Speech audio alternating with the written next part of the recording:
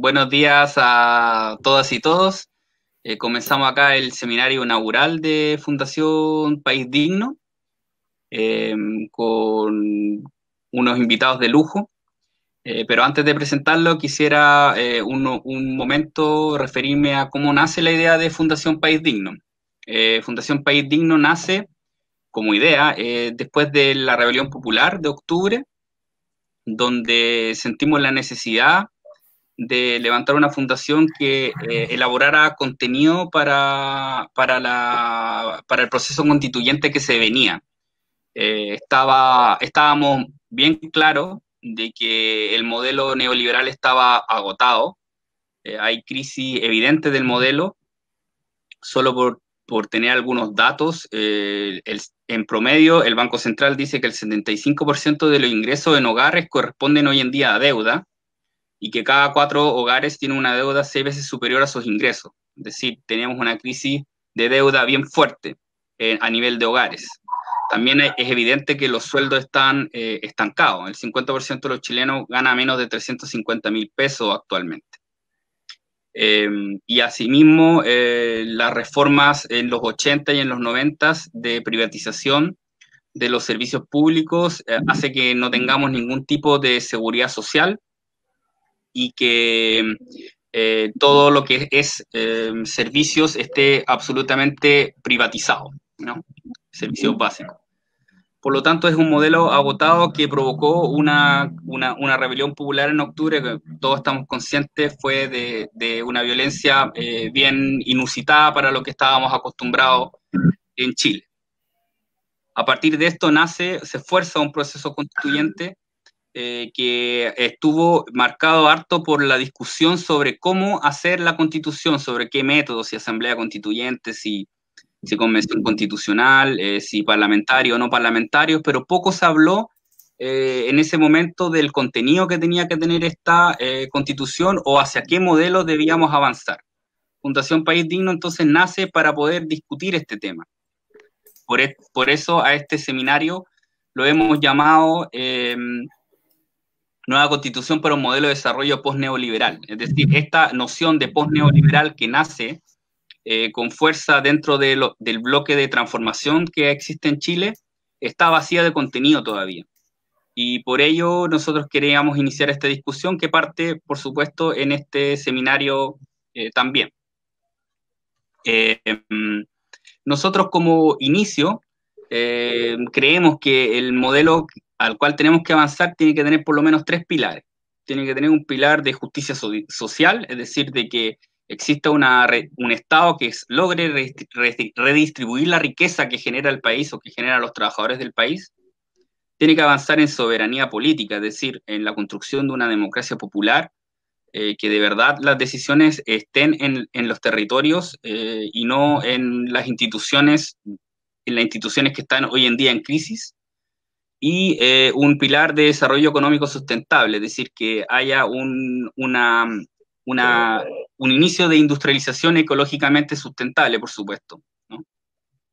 Pero eh, ante esta, digamos, provocación o esta propuesta, eh, tenemos acá nuestros expertos que nos van a refutar, nos van a complementar, nos van a, no sé, no sé con quién nos vamos a encontrar hoy día, pero pero ellos saben más que uno, así que la idea es que eh, no, nos comenten. Eh, tenemos acá, eh, paso a presentarlo, a Carlos Ruiz.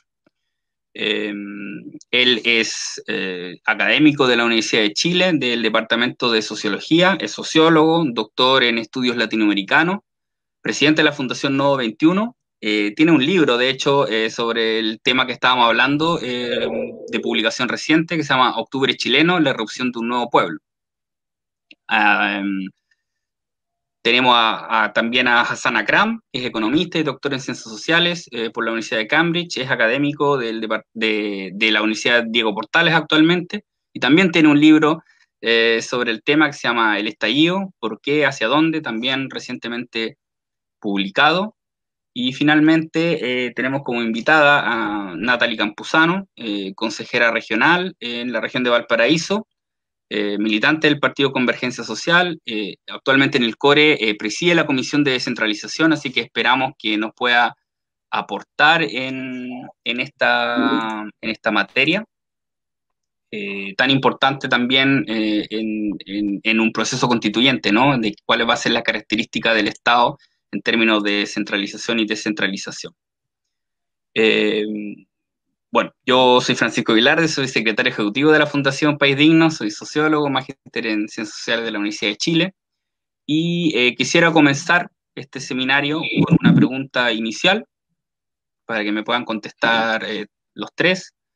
Eh, ¿cuáles fueron los aspectos agotados del neoliberalismo que hicieron que en octubre estallara una rebelión popular que abre este proceso constituyente? ¿Y cómo se relaciona esto eh, con la crisis sanitaria actual? Es decir, un poco una caracterización del, periodo, em, cómo se relaciona esto con la crisis estructural del modelo neoliberal. Puede comenzar el quien estime conveniente.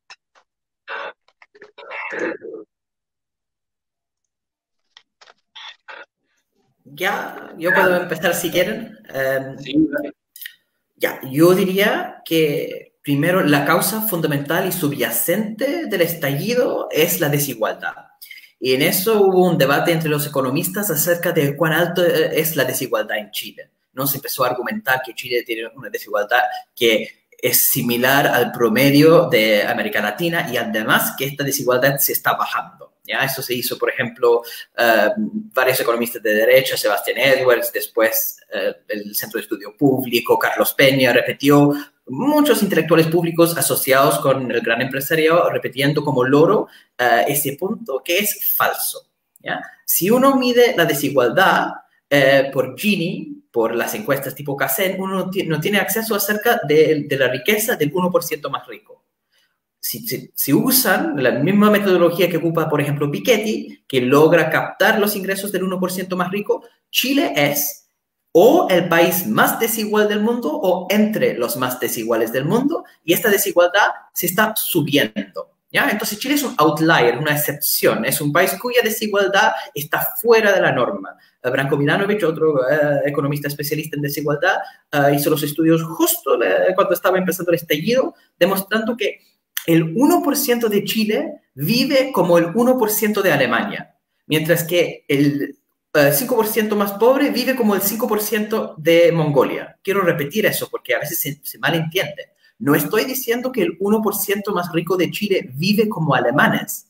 Estoy diciendo que el 1% de Chile vive como los súper ricos de Alemania, mientras que los pobres de Chile no viven como el promedio de Mongolia, sino como los pobres de Mongolia esa combinación en dos países que de niveles de vida que no tienen absolutamente nada que ver es la base de tener de tener un estallido. Tiene que ver con el extremo grado de neoliberalismo, con la privatización de todos los derechos sociales, con un modelo ah, no diversificado en términos económicos, pero ahí está la base. Ahora, la pregunta razonable es, ¿pero por qué estalló en 2017?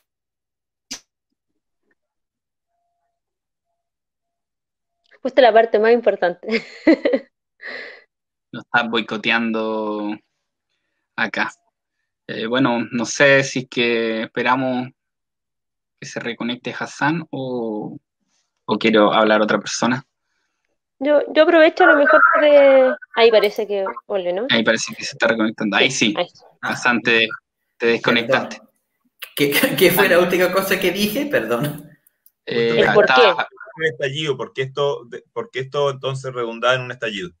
Ya, ah, por, qué en, ese momento? Claro, ya. Y el punto del timing, de por qué se estalla en 2019, tiene que ver con la historia de la transición democrática y ah, si uno entiende simplemente a, las cifras económicas es bien claro. Ah, pasa también un tema generacional que es bien interesante, que se escucha de parte de otra vez este grupo como Carlos Peña, ah, que dice que el estallido es producto de las pulsiones generacionales, que ahí es un tema psicoanalítico. Es interesante entender que hay un tema generacional de pulsiones emocionales que, que es muy importante acá pero lo tienen al revés. Son las pulsiones emocionales de las personas que vivieron los 90 porque a mí me han tocado muchos debates económicos con em, eh, con congresistas, por ejemplo, de la exconcertación, y cada vez que uno habla de problemas en el Chile de hoy, te llevan a, pero nos fue súper bien en los 90. O sea, una obsesión que ellos siguen viviendo otro momento. Y en eso, si uno ve lo que pasó en Chile en los 90, es cierto lo que dice Carlos Peña acerca de un aumento en el nivel de consumo y eso genera ciertos eh, cambios en términos del comportamiento político de la ciudadanía. ¿ya? El tema es que desde hace 15 años los salarios laborales en Chile están estancados.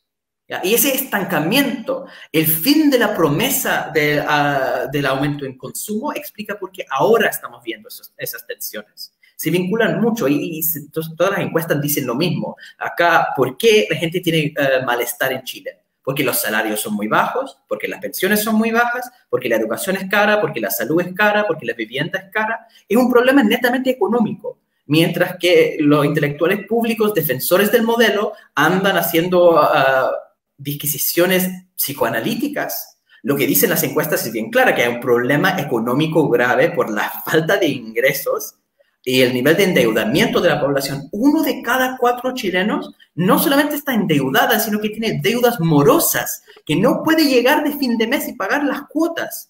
En esa situación que va aumentando en los últimos años, y usted no tiene un caldo de cultivo que explica ese grado de presión. Y en eso Chile no es único pero sí es parte de un grupo de países que vieron ese experimento del neoliberalismo a la ultranza. Yo lo que hago en, el libro es, hago un análisis con Estados Unidos y con, con el Reino Unido, porque con Thatcher y Reagan son los países que pasaron ese profundo neoliberalismo con la privatización de los derechos sociales y tienen comportamiento en los salarios similares, una compresión en los salarios, estancamiento y entonces aumentos de malestar, rabia que dan la elección de Trump que porque la gente rechaza el sistema político, deja, político, dejan de votar, el Brexit, donde la gente vota por algo simplemente porque quieren dañar al modelo, por la rabia que tienen, se nota ese tipo de comportamiento político ah, que está saliendo de, de los límites de control producto de ese, esta rabia acumulada en varios países que tienen ese tipo de modelo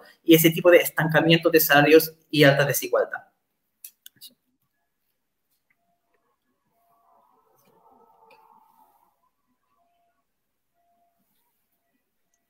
Muy bien. Eh, no sé, Carlos Ruiz quizás quiere continuar con su apreciación en el tema. Bueno, eh, sí. Eh, a ver, yo bueno, primero les agradezco y les deseo éxito en esta empresa que están iniciando. Muchas gracias. Es harta pega montar fundaciones, se los dice uno que ya lleva algo rodando en eso. Así que les deseo éxito y orientación en esta cuestión de, puntos claves, digamos. Este es un momento en que, en que por la presión social se abre un estado de deliberación que me parece que es importante y que puede redundar en, repensar el modelo de desarrollo y no solamente en, aspectos puntuales. Eh, ahí, si Hassan me permite, yo, yo creo que entre los extremos de psicoanálisis y economía hay, hay elementos entre medio, digamos, y todo no es solamente economía o psicoanálisis, digamos. Eh, si no, disciplinariamente no existiríamos nosotros. Eh, tengo la impresión de que los grupos que están estallando ahora, a eso me quiero referir, no son los grupos sociales que habían en los años 90 ni en los años 80. Por lo tanto, hay un patrón de, organización de los estallidos, un tipo de identidades que, que representa una complejidad que es propia de la transformación de la estructura social que generó este propio neoliberalismo, es decir, son los hijos de la modernización neoliberal que empiezan a constituir sujetos que ya no son la vieja clase obrera industrial, que ya no son la vieja clase media desarrollista, aquel profesional que trabajaba en el Estado y en las empresas del Estado, etcétera, ese que salía más o menos que los dibujos de falda, digamos, eso ya desapareció, el propio neoliberalismo lo sepultó. Y, y, al destruir esa vieja clase media y esa vieja clase obrera, no puso en su lugar a eh, trabajadores que tengan similares condiciones de socioculturales, por ejemplo, los trabajadores de los servicios de hoy, los, white collar, como diríamos, ¿eh? son, son, son trabajadores que funcionan en condiciones absolutamente distintas, con altas tasas de rotación laboral, otros sistemas de asociación, y por lo tanto no va a volver el viejo movimiento sindical. Van a surgir otros elementos, otro tipo de, de sujeto desde el seno de eh, esto que yo llamado nuevo pueblo, digamos ¿Por qué lo digo? Porque me parece que es importante insistir que esta nueva geografía social, digamos, que explota, eh, que, estalla el, 18 de octubre, si ustedes se fijan, estalla sin bandera. Bueno, la bandera mapuche, la bandera chilena en negro, digamos, pero no hay banderas de partido, no hay oradores, no hay representantes.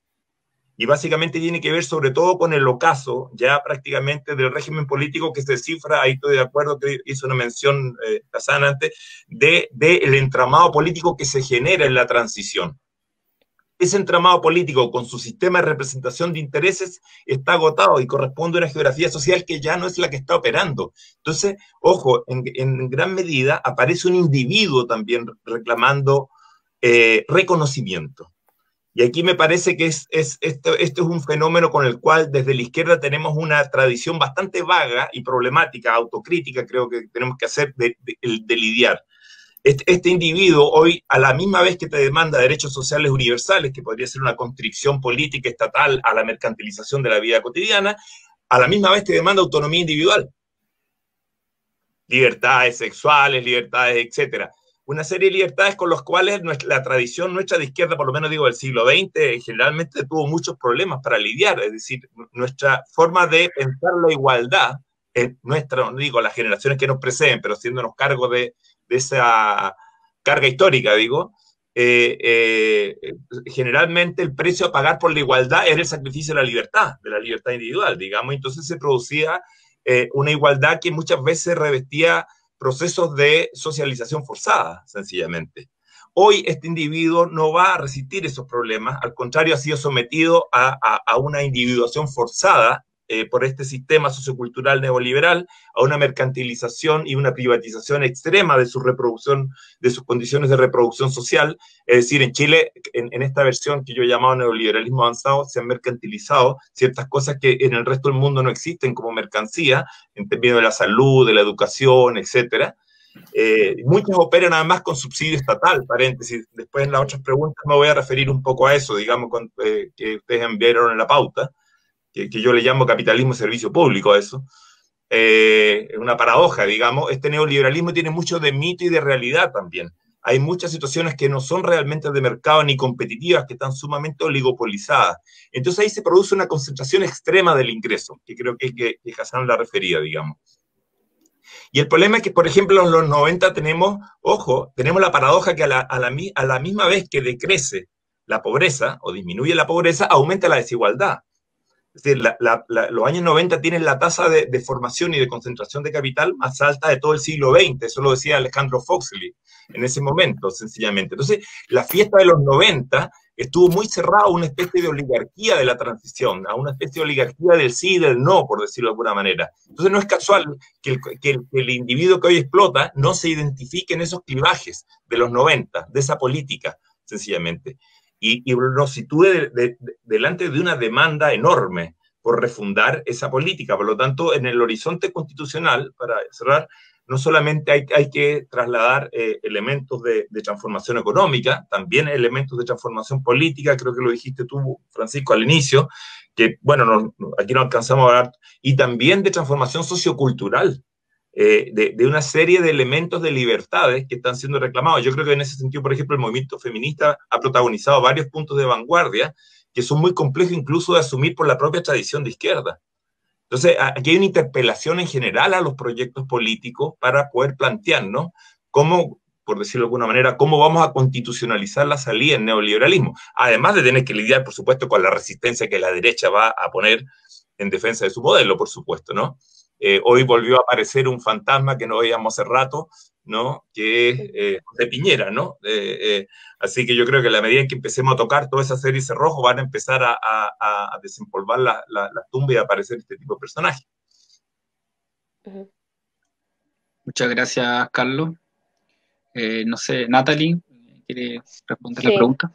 Sí, bueno, yo bastante de acuerdo con lo que han dicho los panelistas, eh, pero yo creo que también esto hay que verlo como eh, en varias dimensiones como un síntoma eh, y que hoy día con la pandemia lo podemos ver que parte del capitalismo ¿no? está, está en la UCI, ¿no? pero no ha muerto, está en la UCI, entonces tiene está con ventilador y tenemos que ver si muere el capitalismo y, o también qué se propone frente a ello y em, o derechamente si este va a sobrevivir y de qué qué forma lo vamos a enfrentar para que, eh, como, en razón a, la sobrevivencia de ellos, ¿no? Y acá lo que está haciendo la UDI en Chile, un poco eso, que sobreviva y, le están poniendo todo el piso para amarrarlo en la Constitución. Pero yo creo que estos síntomas no son solamente eh, eh, nacionales, sino que también hay síntomas eh, internacionales que se pueden ver principalmente, me voy a enfocar en la, zona latinoamericana, ¿no? Lo que vimos en Ecuador, lo que vimos en Argentina y luego lo que pasó en Chile, creo que también varios golpes se dieron a raíz de que se quiso instalar un modelo que em, un modelo profundamente neoliberal y que la misma eh, las mismas organizaciones sociales, cierto, los movimientos populares de, esos determinados territorios eh, buscaron para que saliera, ¿no? Para que para tener una, una alternativa distinta. Entonces creo que no hay que olvidar lo que pasó el 18 de octubre, tiene relación un poco también con los fenómenos eh, internacionales. ¿ah? también hay fenómenos en Europa, pero a nivel latinoamericano son muy cercanos y creo que también van de la mano eh, con lo que pasó en Chile, en Ecuador, sobre todo con la demanda indígena que se daba. Ahí yo creo que hay un, eh, todo un tema y Carlos lo, puede profundizar mucho mejor que yo para poder comentar lo que sucedió ahí, ¿no? pero creo que lo que pasó el 18 de octubre acá en, en Chile se da por lo mismo que decía, ¿no? Teníamos como muchos síntomas desde el 2006, que es una de las grandes eh, revoluciones eh, por parte de los estudiantes, indicando que el modelo de educación eh, había que modificarlo, había que cambiarlo. parte de ello se avanzó, pero también con muchas diferencias, ¿no? Como que también em, comparte la concertación que eh, dijo que en un momento que podía avanzar en ello, pero a la vez también retrocedió y hizo todo más difícil para avanzar en una nueva ley eh, en esas características. Después el año 2011, después el movimiento Noma FP, también parte del movimiento feminista que empieza a avanzar, ¿no? Y eh, la institucionalidad, principalmente el binomio, no se hacía cargo de estas demandas que hoy día parte, y comparto, creo que lo decía Carlos, ¿no? Como que esta generación de, los 90, ¿no? De los millennials, como que también la poníamos sobre la mesa y, queríamos ser escuchados y no éramos escuchados y no teníamos ningún tipo de espacio donde decir que nuestra normativa o nuestro ordenamiento jurídico se hizo en conjunto con nosotros. Entonces yo creo que hay varios factores. Uno tiene que ver con la desigualdad profunda, que ahí no quiero redundar, que se indicó muy bien acá, eh, pero también con la falta de participación eh, activa. Yo creo que si uno comenta y habla con la gente que participó el 18 de octubre, tiene que ver como acá no nos pescan, acá nadie dialoga con nosotros, la clase política hace lo suyo con el mundo empresarial, pero no hay una participación activa del pueblo de Chile. Entonces yo creo que ahí se generó una expresión eh, desorgánica, ¿no? Pero, pero una expresión de eh, un Chile descontento porque no, no son parte de la política eh, en distintas dimensiones. Y los movimientos sociales se hicieron también sumamente relevantes para levantar banderas que de alguna otra forma no se hubieran conocido como los movimientos por la lucha del agua, los movimientos por los pueblos originarios, los movimientos feministas, entre otros. Eh, y no quiero dejar pasar también eh, que, el capitalismo, eh, de alguna otra forma, se agudiza mucho más cuando nos, em, cuando nos alejamos del centralismo, ¿no? En este caso estoy hablando del, capital, o sea, perdón, de, la capital como tal. Por tanto, cuando uno vive en región, Em, se hace mucho más difícil y el capitalismo se hace también mucho más extremo, ¿ah? con las lógicas extractivistas que se dan en distintos tipos de territorio. Acá en la región de Valparaíso lo sabemos muy bien con Quintero Puchuncaví, la lógica del transporte, ahí algo anunciaba Carlos Ruiz también, como el Estado subsidia en, la, en regiones parte importante de cómo se ve el transporte público, pero es completamente privado. Y hoy día en la pandemia eh, vemos las grandes dificultades que tiene eh, el sistema em, privado, ¿no? Eh, entonces, por eso hablo de que hoy el, el modelo capitalista está en la UCI. Eh, porque hay algunos que lo están cuidando, lo están resguardando y las políticas que de alguna otra forma está indicando el gobierno eh, son para poder subsidiarlo y no así para golpear al modelo como tal. Ahí lo que sucedió eh, fue muy relevante con el 10% de la AFP, pero no así es un gran, no es una gran transformación, ¿no? Es una patita de. por tanto, yo creo que em, hoy, hoy el se juega en estos momentos que el capitalismo sobreviva o, derechamente que muera. Y también hay nuestro desafío, ¿cuál es la apuesta que nosotros vamos a entregar a ellos? Me quedo con, eso porque sé que son 10 minutos. Eh, creo que quedó como pendiente la segunda patita de la pregunta, que es cómo se está relacionando esto con la crisis sanitaria. eh, daba la sensación de que era una oportunidad en algún momento para el gobierno de, superar el, estallido social, como fue llamado, por lo menos eh, ponerle colchones al asunto pero con el pasar de, de las semanas eh, se empezaron a agudizar eh, los mismos problemas que venía denunciando el movimiento popular de la rebelión popular de octubre, es decir, eh, se empezó a hacer evidente los márgenes del modelo neoliberal, sus limitaciones. por lo menos esa es la sensación que me da a mí. No sé cómo lo ven ustedes, cómo creen que se está entrelazando el estallido social de octubre con la crisis sanitaria eh, que, en la que estamos inmersos ahora, crisis sanitaria y crisis económica, podríamos también decir eh, a esta altura. Una, una, cosita que razona lo otro, eh, a lo mejor, o sea, de hecho no, respondo a lo que está diciendo ahora, que yo creo que también lo que hemos visto con la crisis sanitaria en términos internacionales em, y con mucho resquemor también por parte de, de la institucionalidad chilena el rol que incluso países profundamente neoliberales como Estados Unidos, Inglaterra, etcétera, eh, han tenido que fortalecer las lógicas del Estado en relación a lo, al, al, pueblo, ¿no es cierto?, a los ciudadanos, atendiendo de que hoy día el modelo no tiene ninguna alternativa para poder, en este caso, resguardar la dignidad y la vida de las personas. Eh, y, por tanto, por ello hablo de, que de alguna otra forma este modelo está, está agonizando, está en la UCI, porque el único que ha podido hoy día fortalecer eh, y resguardar los intereses en materia de salud, en materia económica, etcétera, el Estado. Recordar lo que hizo Trump con, eh, con direccionar parte de cómo se tenía que mover el mercado, con las mascarillas, con los oxígenos, ¿cierto? Eh, que solamente se tenía que em, producir para Estados Unidos, privilegiando, ¿cierto? Con, con normativas, eh, normativas que son de, intervención del Estado al, al, al mercado para direccionar en resguardo de la ciudadanía de Estados Unidos, ¿no? Ahí vemos una acción del Estado importante o la inyección que está haciendo también Estados Unidos frente a ello y el mercado o las lógicas empresariales, ¿cierto?, han tenido cero vinculación o alternativa frente a la crisis sanitaria. Lo mismo en el caso de, Johnson en Inglaterra, ¿no? Eh, acá lo mismo en el caso de, Chile. De hecho, es más, en Chile es, tan irrisorio que tenemos grandes empresas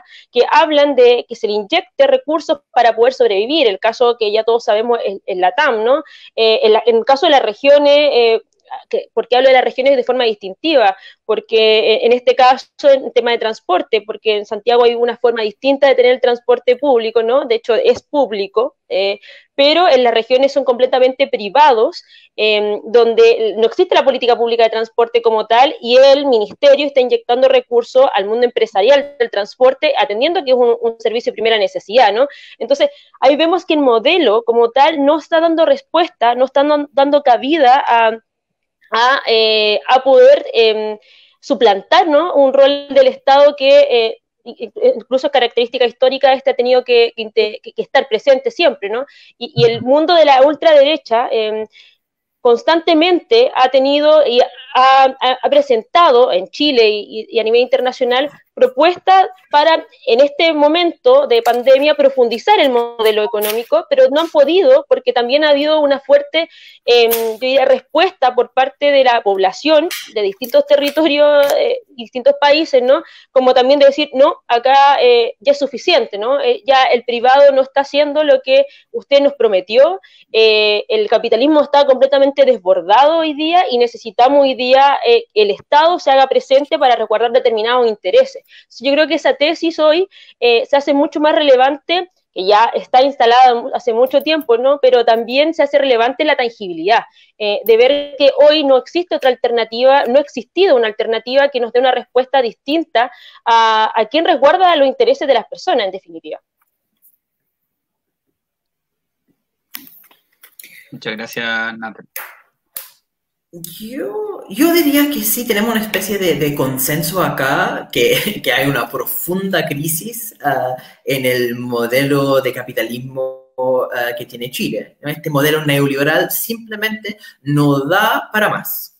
Ah, y en eso, que evidentemente COVID es un factor más dentro de esa crisis. Ah, pero también creo que hay un acuerdo que en términos históricos lo que estamos viendo es la descomposición de un modelo que tuvo su momento máximo durante los 90 y la descomposición de, todo el crecimiento, ah, del empuje en términos de los salarios, del aumento en acceso en consumo, cuando eso vuelve a ser un estancamiento, y por supuesto hay, entonces transformaciones en el mercado laboral y Carlos describe súper bien entonces cómo eso tiene efectos en, en los movimientos sociales y, y, en la acción política desde la base. Pero también tiene un, un efecto en la élite y tiene un efecto también en la lógica política. Porque una de las cosas que tienen en común todos los países del neoliberalismo extremo, y eso es algo que Chile tiene mucho más en común con, uh, con Inglaterra y con Estados Unidos que con, uh, con, los vecinos de Latinoamérica, es una lógica política um, duopólica muy definida donde la izquierda se neoliberalizó de manera muy coherente la renovación socialista en Chile, los nuevos demócratas en Estados Unidos, el nuevo laborismo uh, en Gran Bretaña, tiene la misma lógica de la neoliberalización de lo que era una fuerza uh, de, de, cambio en algún momento. Eh, y es, es, ¿qué pasa cuando uno entra en una crisis del modelo que se está agotando? Pero los que normalmente dan respuestas a eso, la izquierda organizada, se encuentra completamente cómplice con la mantención de ese modelo.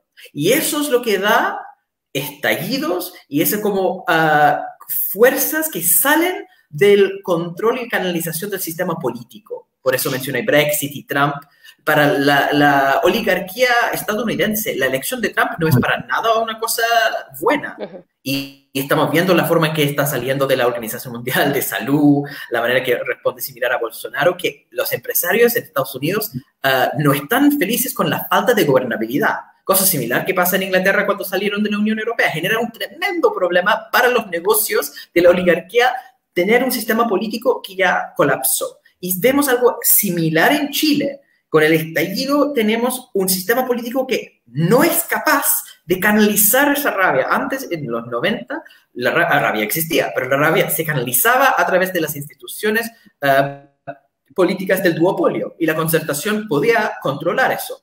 Con el modelo llegando a agotamiento, se acaba con eso. Y lo que abrió con el estallido entonces fue un momento en el concepto bien de Bruce Ackerman, de un momento constituyente, donde se cuestiona la manera en que está construida el Estado y se propone algo distinto.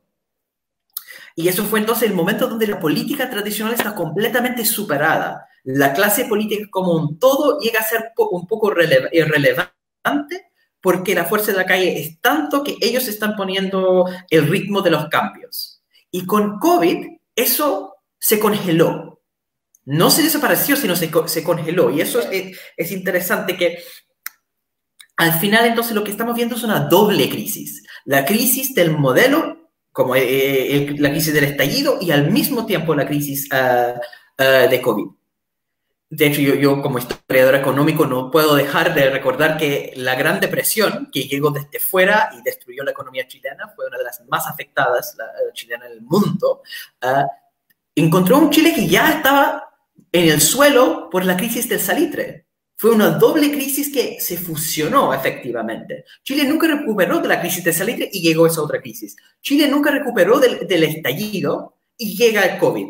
De hecho, en términos netamente de, de, los flujos económicos, el ministro Briones decía durante el estallido, no hay, uh, no hay fuga de capitales, los empresarios no están sacando su plata. Y eso lo decía porque todo el sector comercio, las empresas que tienen client, uh, personas naturales, como clientes estaban parados, pero el sector agroexportador la, eh, eh, y la minería seguían funcionando en paralelo.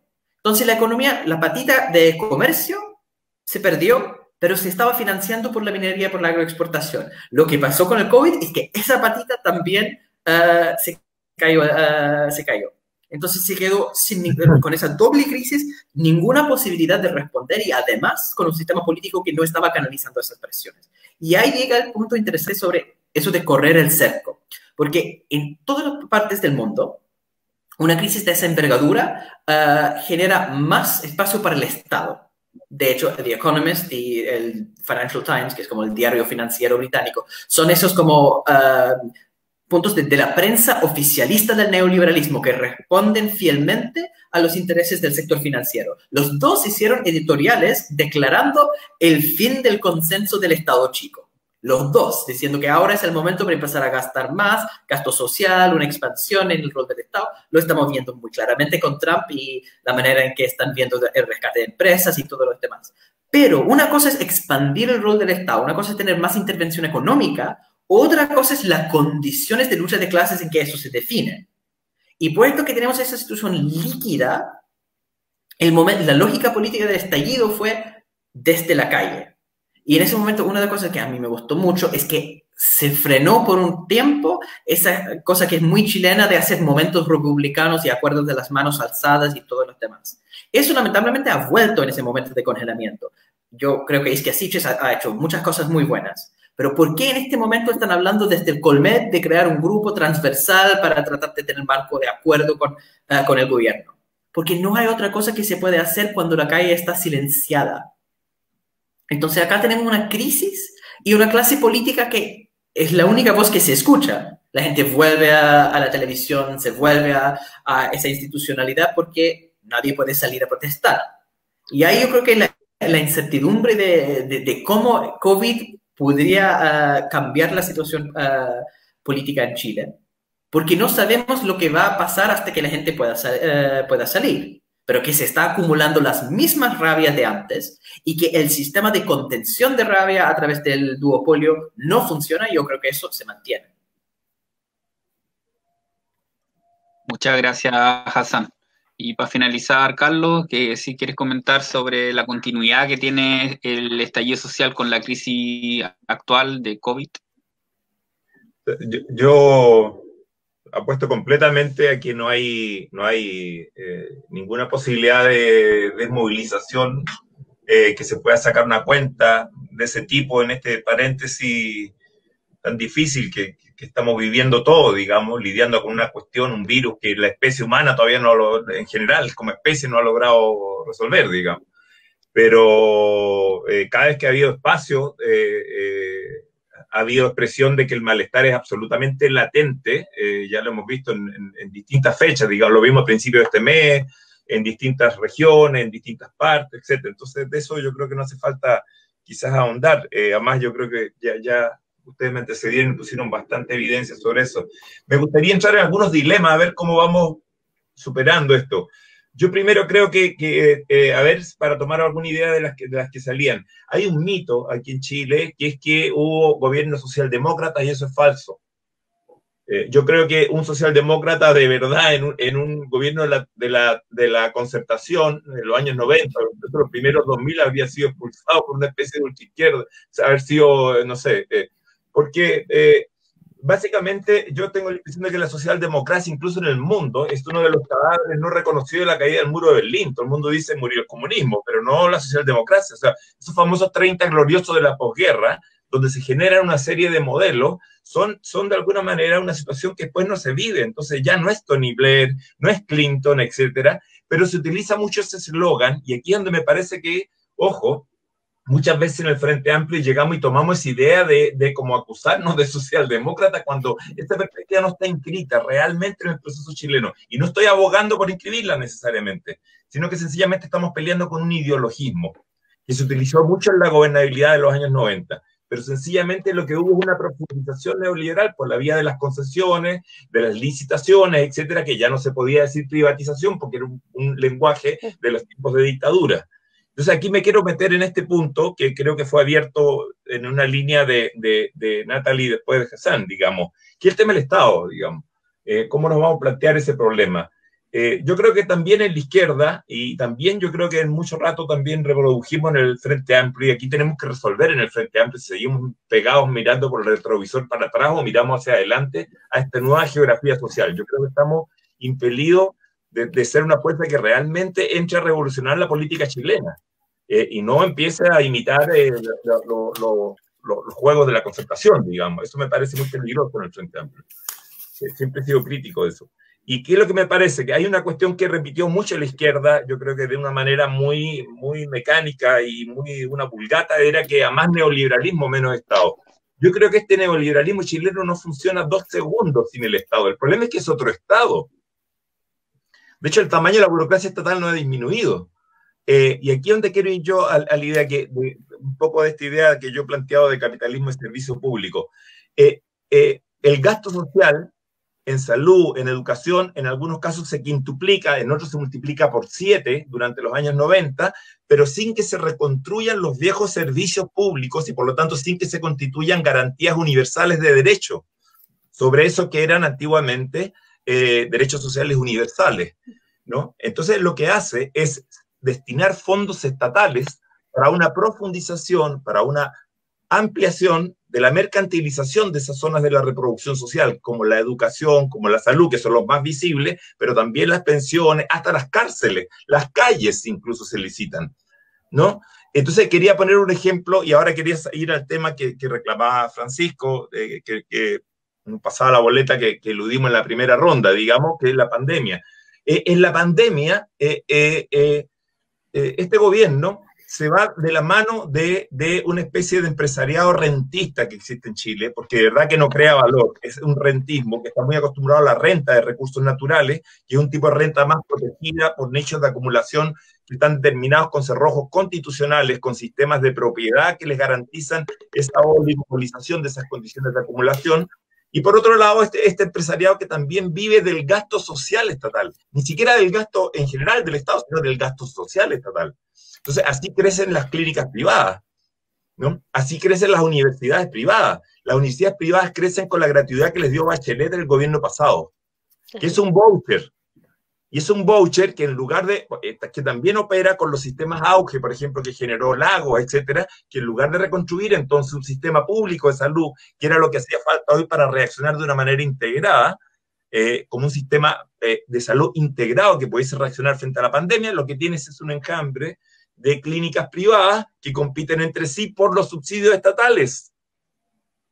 Por eso insisto que, ojo, cuidado que este neoliberalismo tiene de mito y de realidad. Una cosa es la ideología misma, como la construye Hayek, von Mises, el coloquio Liebman, etcétera, y otra cosa después cómo se constituye concretamente bajo la alero de la intervención estatal y de qué tipo de Estado, entonces, en el fondo.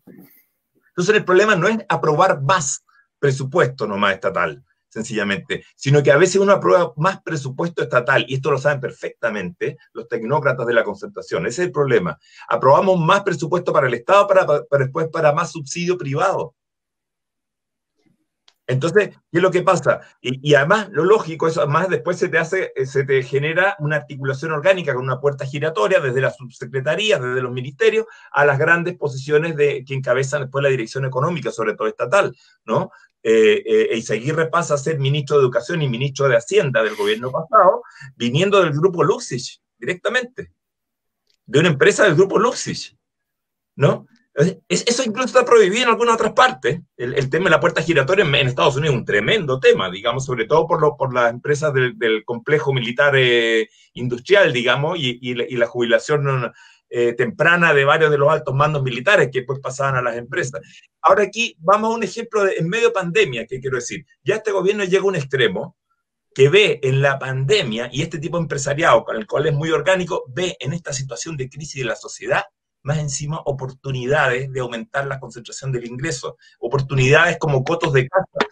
Si te fijas, se aprueba un gasto social que ya no es un gasto social corriente, sino que es un gasto social de estado de emergencia por ejemplo, para apoyar a la, pequeña y mediana industria.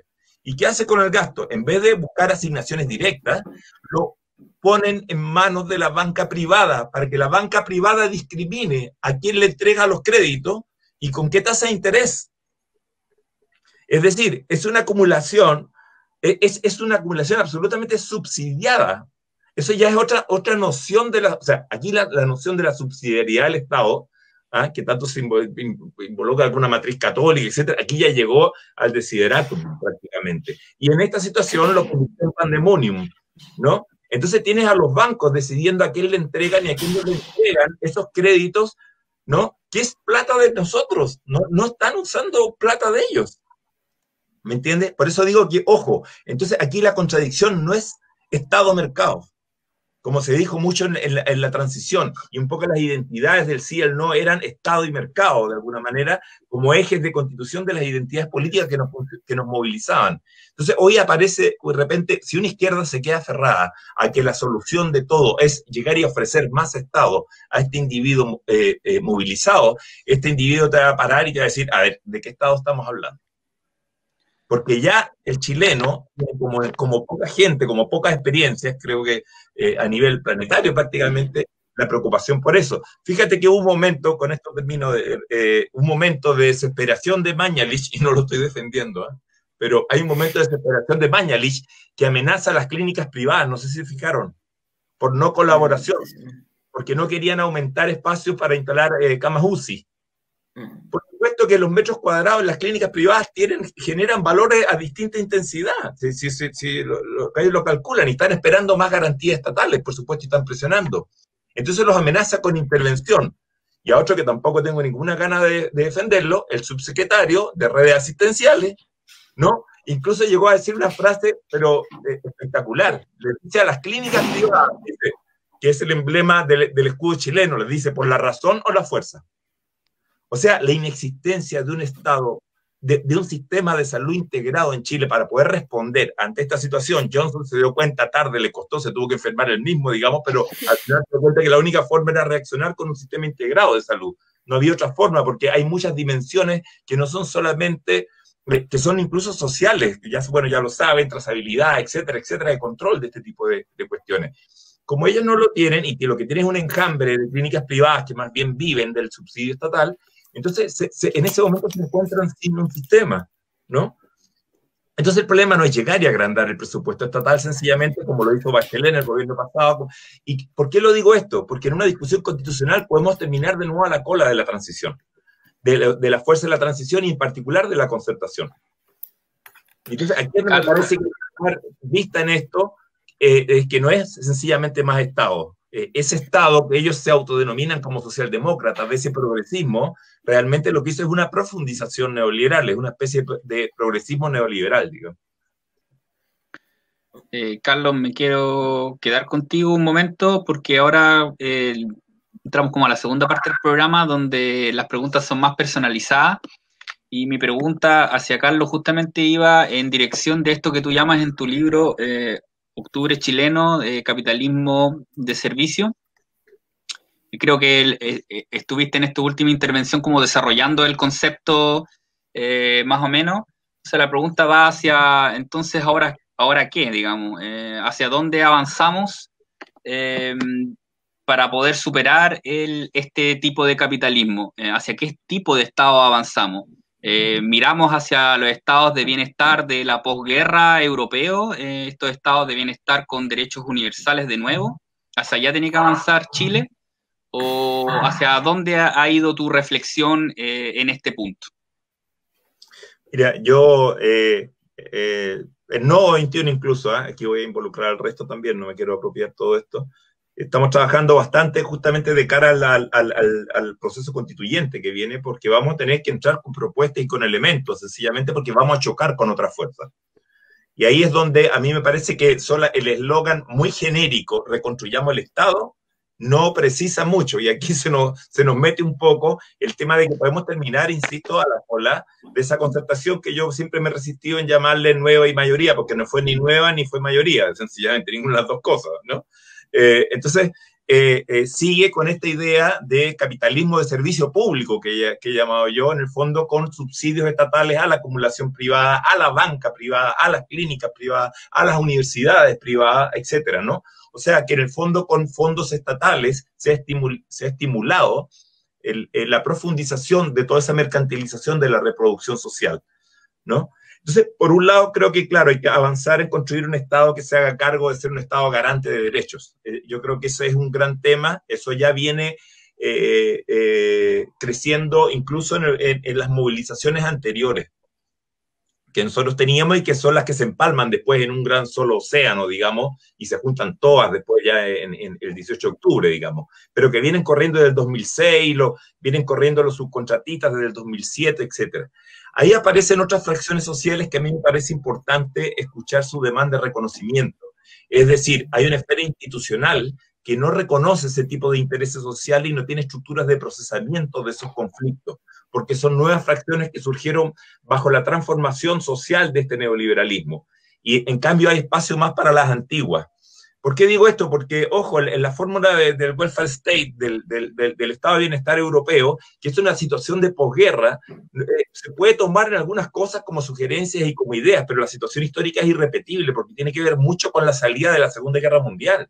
¿no? La tesis de la institucionalización de la clase obrera de Darendorf en general, del, del laborismo inglés, etc. En esta situación tenemos, al contrario, tenemos una situación distinta con individuos, por ejemplo, que también en ciertos aspectos no van a permitir una injerencia del Estado en sus vidas, ojo, y que demanda libertades individuales. O sea, tenemos una situación más compleja de una sociedad también civil que ha eh, eh, evolucionado y, en función de mayor complejidad.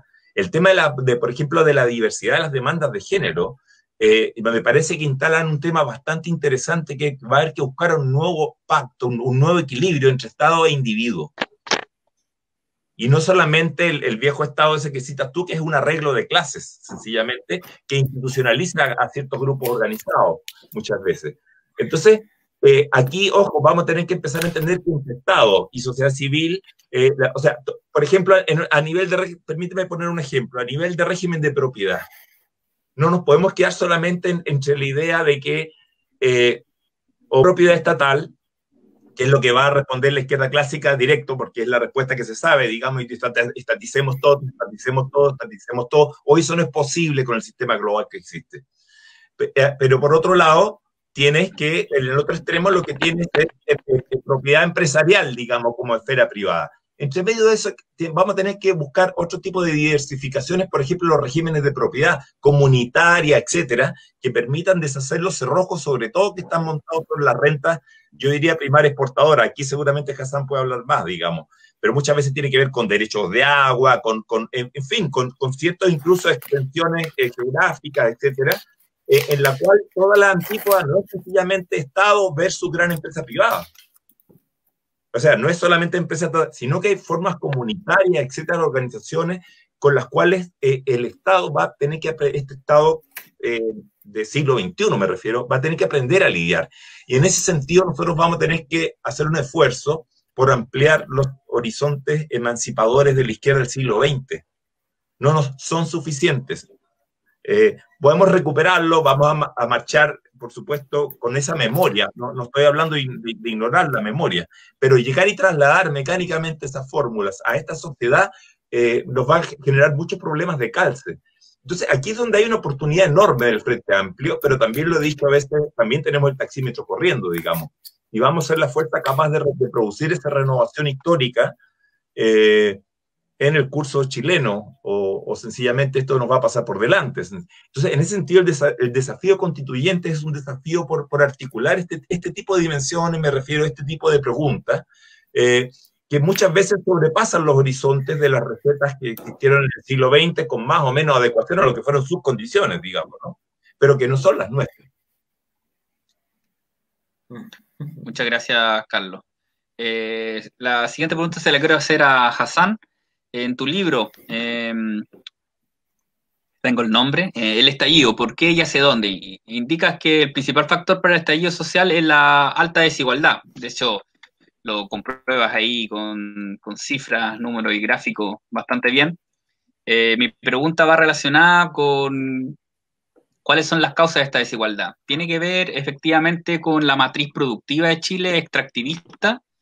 Eh, tiene que avanzar Chile hacia una industrialización y si es así, ¿cuáles son las lecciones eh, que debemos tomar para avanzar en una industrialización? eh, dada la experiencia frustrada que tuvimos, no solo en Chile, sino en prácticamente todo Sudamérica, sobre el modelo Easy, eh, que, pretendía eh, cambiar esto y, tener países más, más robustos en, en su matriz económica. Eso. Ya, eh, voy a responder a tu pregunta, pero me gustaría responder vinculando eh, mi análisis un poco con algunos de los conceptos que utilizó Carlos. Eh, específicamente, encuentro absolutamente clave tener claro cuál fue el proyecto de la socialdemocracia.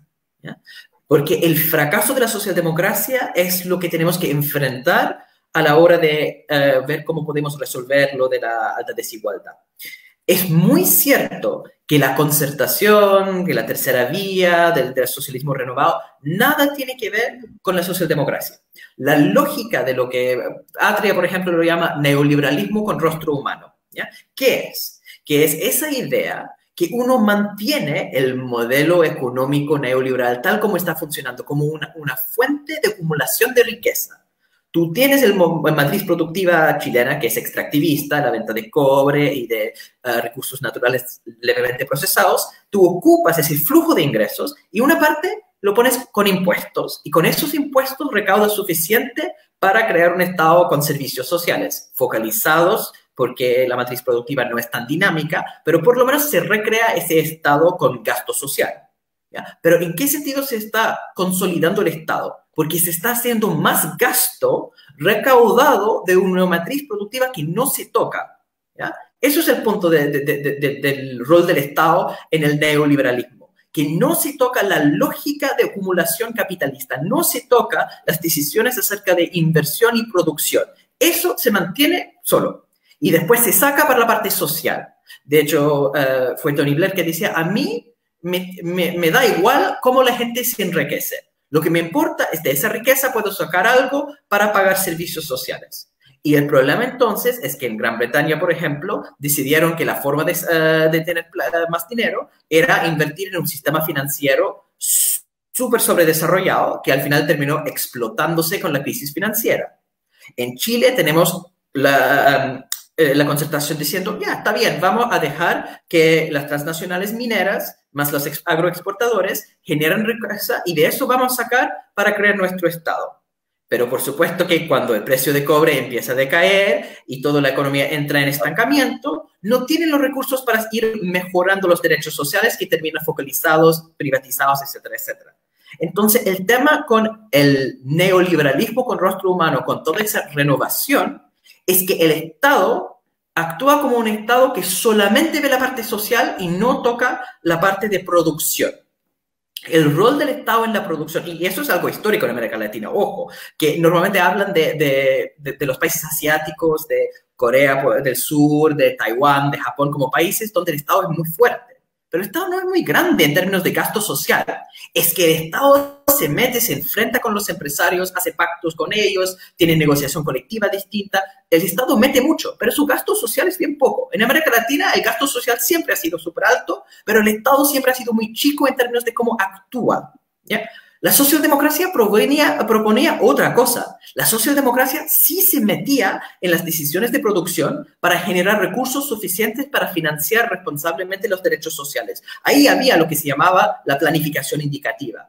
No es que en las 30 años gloriosas de Francia eh, la economía estaba funcionando solo, con impuestos altos para derechos sociales. No, es que había planificación donde el Estado francés tenía planes quinquenales donde organizaban la economía, no con el, estilo de planificación central de la Unión Soviética, sino que eran con subsidios, con in, indicaciones, pero, tenían la lógica de planificación. Lo mismo pasó en Suecia, pero Suecia tuvo esa misma lógica uh, con un Estado desarrollista. ¿Cuándo fracasó la socialdemocracia? Eso es antes, mucho antes, incluso de la caída del, del muro de Berlín. El problema de la socialdemocracia fue netamente la globalización porque el momento en que se globalizó el, eh, se globalizó el sistema financiero, se generó la pr primera crisis financiera en Suecia, que fue producto de ellos no podían mantener eh, el sistema económico intervenido cuando la gente empezaba a poder sacar su plata. Hicieron la primera guerra contra Suecia, sacaban las platas de, de Suecia y con esa pequeña crisis financiera, la socialdemocracia suecia, de sueca efectivamente empezó su neoliberalización tuvo que bajar su nivel de intervención en los temas productivos por el chantaje de la globalización de perder sus recursos. Tuvo su momento máximo con Mitterrand en Francia, donde trató de avanzar con una política que enfrentaba a los empresarios, trataba de regularlos, pero frente a la amenaza del retiro de dineros, se neoliberalizó esa misma izquierda y tuvimos con la misma lógica de la concertación. Entonces, lo que perdimos en términos del Estado no es la parte del gasto social. Gasto social es fácil. Los neoliberales también pueden hacer gasto social. Pero enfrentar a los empresarios y tener un Estado que puede negociar con ellos en igualdad de condiciones, esa idea tripartita, ¿no? Entre los trabajadores, em, los empresarios del Estado, eso es muy difícil de reconstruir en estas condiciones. Y de hecho, el gran problema de la socialdemocracia fue en esa lucha de clases, cuando estaban avanzando en la socialdemocracia, que antes lo que hacía era negociar. En lo más simple, negociaban aumentos en salario y al mismo nivel uh, controlar los aumentos en utilidades. Entonces, una constante negociación entre salarios y utilidades y el Estado actúa para mantener los dos creciendo. Pero cuando llega un momento donde no hay más crecimiento y tiene que determinar quién va a perder, la, contra, la contraofensiva de los empresarios fue tan fuerte que al final destruyeron ese sistema. Lo que necesitamos en términos de reconstrucción es desde la movilización social, desde ese momento constituyente que abre y abre en distintos países de distintas maneras. Pero está pasando en Estados Unidos con su estallido que vimos con, con el tema afroamericano. Está pasando en Europa con constante pelea constitucional sobre el rol del Estado. No sobre el, rol del Estado en términos de gasto social, sino en términos del rol de planificación. Y ahí es lo, que es fundamental acá el fracaso del modelo Easy en América Latina, ¿por qué fue? Porque el modelo Easy da subsidios a empresarios. Dice, ustedes tienen que no solamente hacer cosas que son de recursos naturales, sino actividades de más alta tecnología. Y para hacer eso, aunque a corto plazo es menos rentable, a largo plazo va a funcionar mejor, vamos a pasar subsidios, protección y todos los demás. América Latina ha sido muy bueno con regalar cosas a los empresarios, pero muy malo con exigir cosas de ellos de vuelta. El modelo Easy funcionó. Japón tuvo un modelo Easy. Corea tuvo un modelo Easy. Finlandia cerró su economía en la inversión extranjera, no podía llegar. La diferencia es que todos esos países que tenían eh, eh, subsidios pasando a sus empresarios ponían requisitos de rendimiento a esos mismos empresarios. Decían, ustedes quieren esos recursos, quieren esa protección, perfecto. Pero ustedes tienen que aumentar la exportación, tienen que aumentar la inversión, tienen que eh, negociar los salarios. Y con esa capacidad de negociar con los empresarios en igualdad de condiciones, porque el Estado fue más fuerte, se logró avanzar. En América Latina nunca se hizo eso y el problema acá es la incapacidad del Estado, para ponerlo en términos marxistas, de disciplinar a la burguesía.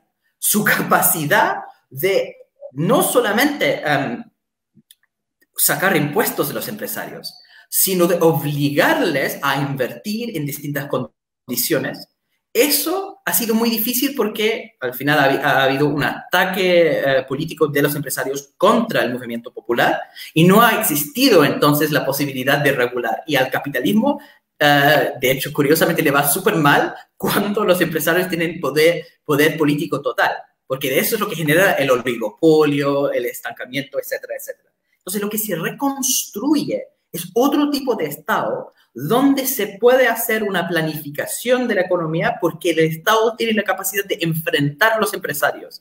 Yo creo que es una demanda general, se entiende en Chile, que los empresarios tienen un poder que es sobredimensionado.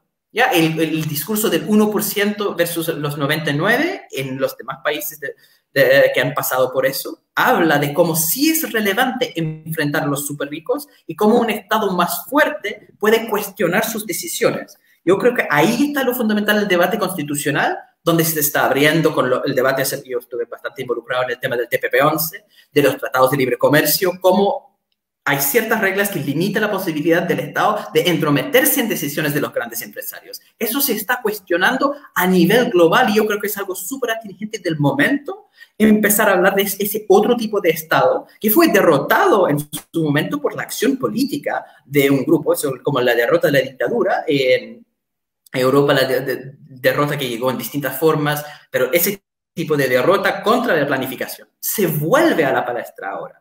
Y en eso yo creo que cuando yo pienso en el tema, eso para terminar, en el tema feminista, yo veo súper interesante como profe universitario las nuevas generaciones y las maneras en que ellos tienen para, eh, con sus nuevas eh, demandas de libertad. Pero ojo, no es solamente libertad. Yo veo mucho, porque trabajo con, trabajo en universidad estadounidense, la forma en que el feminismo más avanzado empieza a, exigir controles, que es súper necesario. Al final, parte del patriarcado es la forma en que los hombres, tanto profesores como, eh, como eh, estudiantes, han podido hacer lo que les da la gana. Es el exceso de libertad de los hombres que se busca controlar.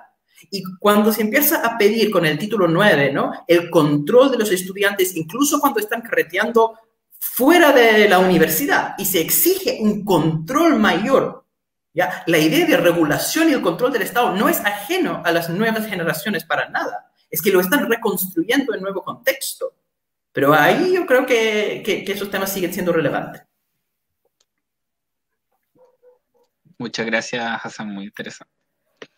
Eh, Natalie, eh, ya hemos hablado de derechos sociales y su relación con el Estado, eh, de, la relación del Estado con el empresariado y, y la matriz económica, y nos gustaría contigo profundizar en el problema del Estado centralizado chileno, ¿no? Un Estado hiperpresidencialista. Algunos expertos eh, han dicho de que parte de la crisis eh, sanitaria en Chile eh, tiene mucho que ver tener un Estado tan centralizado y ha sido una demanda creciente desde las regiones mayor descentralización. en este aspecto, eh, te quiero preguntar efectivamente, ¿cómo crees tú que se relaciona la crisis sanitaria actual con este estado eh, que he descrito? ¿Y hacia dónde tenemos que avanzar eh, como constitucionalmente? ¿no? Va a ser muy importante en la discusión constitucional el carácter del Estado en, este aspecto en, específico, ¿no? ¿Hasta qué sistema o qué modelo tiene que avanzar Chile en tema de descentralización? Gracias, Francisco. Eh, voy a partir con algo que, bueno, se comentó dentro de esta conversación que está bastante interesante, que tiene que ver como con qué estado, ¿no? ¿Qué, estado lo que creo que planteaba eh, Carlos, ¿no?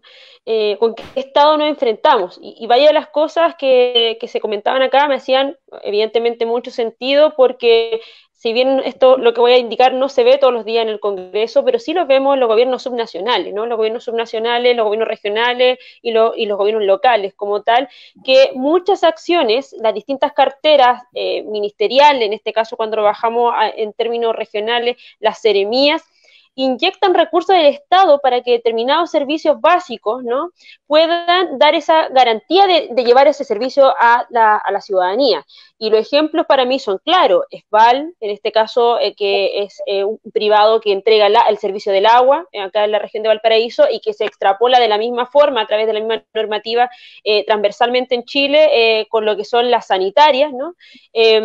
De la misma forma en la electricidad, el transporte público, la vivienda, etcétera, con, figuras que también se planteó acá, que son de concesiones, que son de licitaciones, que son, eh, en este caso, de trato directo, ¿no? El ejemplo para mí más clave, que en este momento cuando el, gobierno utiliza, el gobierno, estoy hablando ya en términos nacionales, ¿no? La, la crisis sanitaria para desprenderse, parte importante de la crisis política que tenían del 18 de octubre, son eh, las famosas cajas. Y no voy a entrar en la pequeñez de las cajas como tal, pero las cajas fueron designadas un privado, o sea, se inyectó recursos en privado para que este privado hiciera la, eh, compra de esas determinadas cajas, ¿no? Eh, donde el Estado cumplió un rol importante de inyectar recursos, ¿no? En la región de Santiago se inyectaron 8 mil millones de pesos, a diferencia que las regiones tuvo que inyectar los presupuestos regional por una política mal implementada del presidente, que se le ocurrió un día, y ahí hago dos paréntesis. Una, eh, tiene que ver con em, ahí el ejemplo mismo, ¿no? En la crisis sanitaria de con la misma acción de este Estado, no este Estado como eh, em, este Estado eh, con, omisión, sino con un Estado completamente activo, pero en este caso subordinado al, privado. No estoy hablando de un Estado subsidiado, sino que subordinado al privado. Por tanto, mira, te doy toda la plata, todo lo que tú quieras, pero tú controlas estas determinadas acciones para darle los servicios básicos a la gente, pero sin tocar el modelo. Acá, cuestión que se planteó, pero lo estoy haciendo a lo mejor más, eh, más eh, ejemplificador, ¿no? Lo que yo puedo ver desde el mismo espacio del gobierno regional.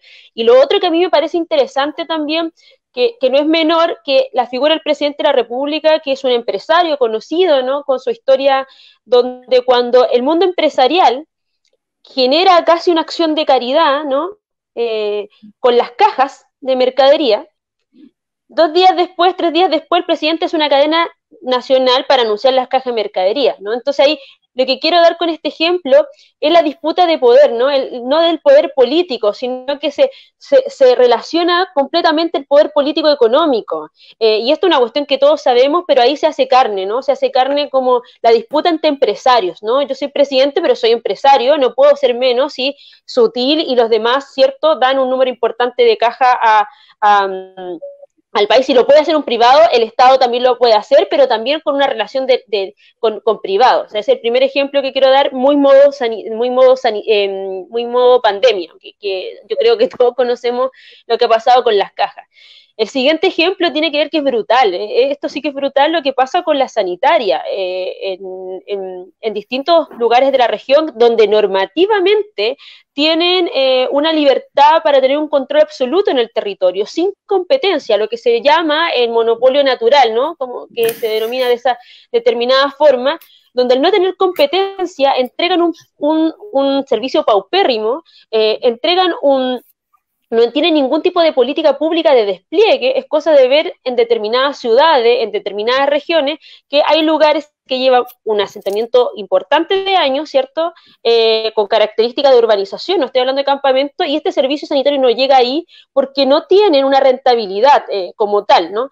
Eh, y ahí no está tampoco el rol del Estado para decirle y direccionarle lo que tenga que hacer ese servicio básico, que es la sanitaria, como tal. Por tanto, acá hay una carencia de política pública y también un rol de omisión por parte del Estado, y lo que hace el Estado eh, a través de los gobiernos subnacionales, los gobiernos regionales, es inyectar recursos a las sanitarias para que estos puedan hacer las redes de, conexión para, por ejemplo, viviendas sociales.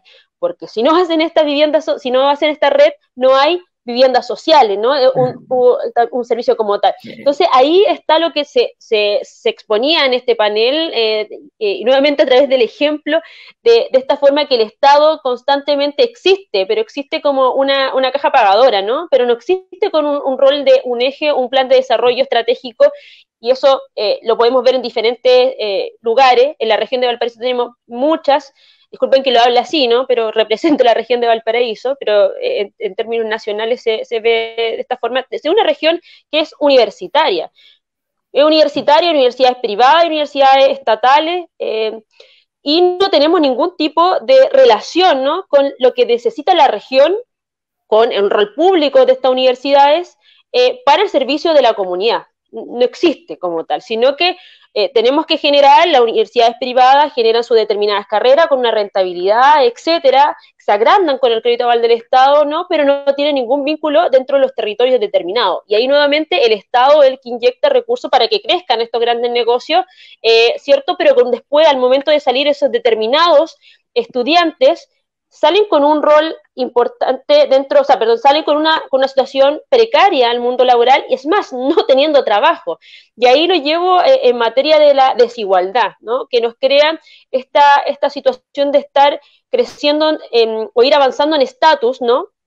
Eh, pero con las mismas condiciones precarias, con una clase media que es bastante eh, débil, ¿cierto? Que hoy día lo vemos cómo se representa la clase media con pasa lo del estallido social, pasa lo de la pandemia y la clase media queda eh, completamente despojada de todo lo que tenía, eh, tenía encima, que era con todo el endeudamiento, que hoy día no se pueden hacer cargo de ese endeudamiento. Entonces, así suman y siguen, eh, yo creo, y se profundiza en ello la, el rol de subordinación que tiene el Estado con el mundo empresarial. y ahí yo comparto. Y para mí uno de, de los actores importantes que yo veo en materia de descentralización son los actores de los territorios, eh, donde han levantado bandera importante que tiene que ver ahí lo que decía Hassan, que es eh, con la lógica extractivista, ¿no? Como, cómo, eh, tiene que ver la, inversión, la producción, la utilidad, etcétera, que se dan a costa de cualquier cosa.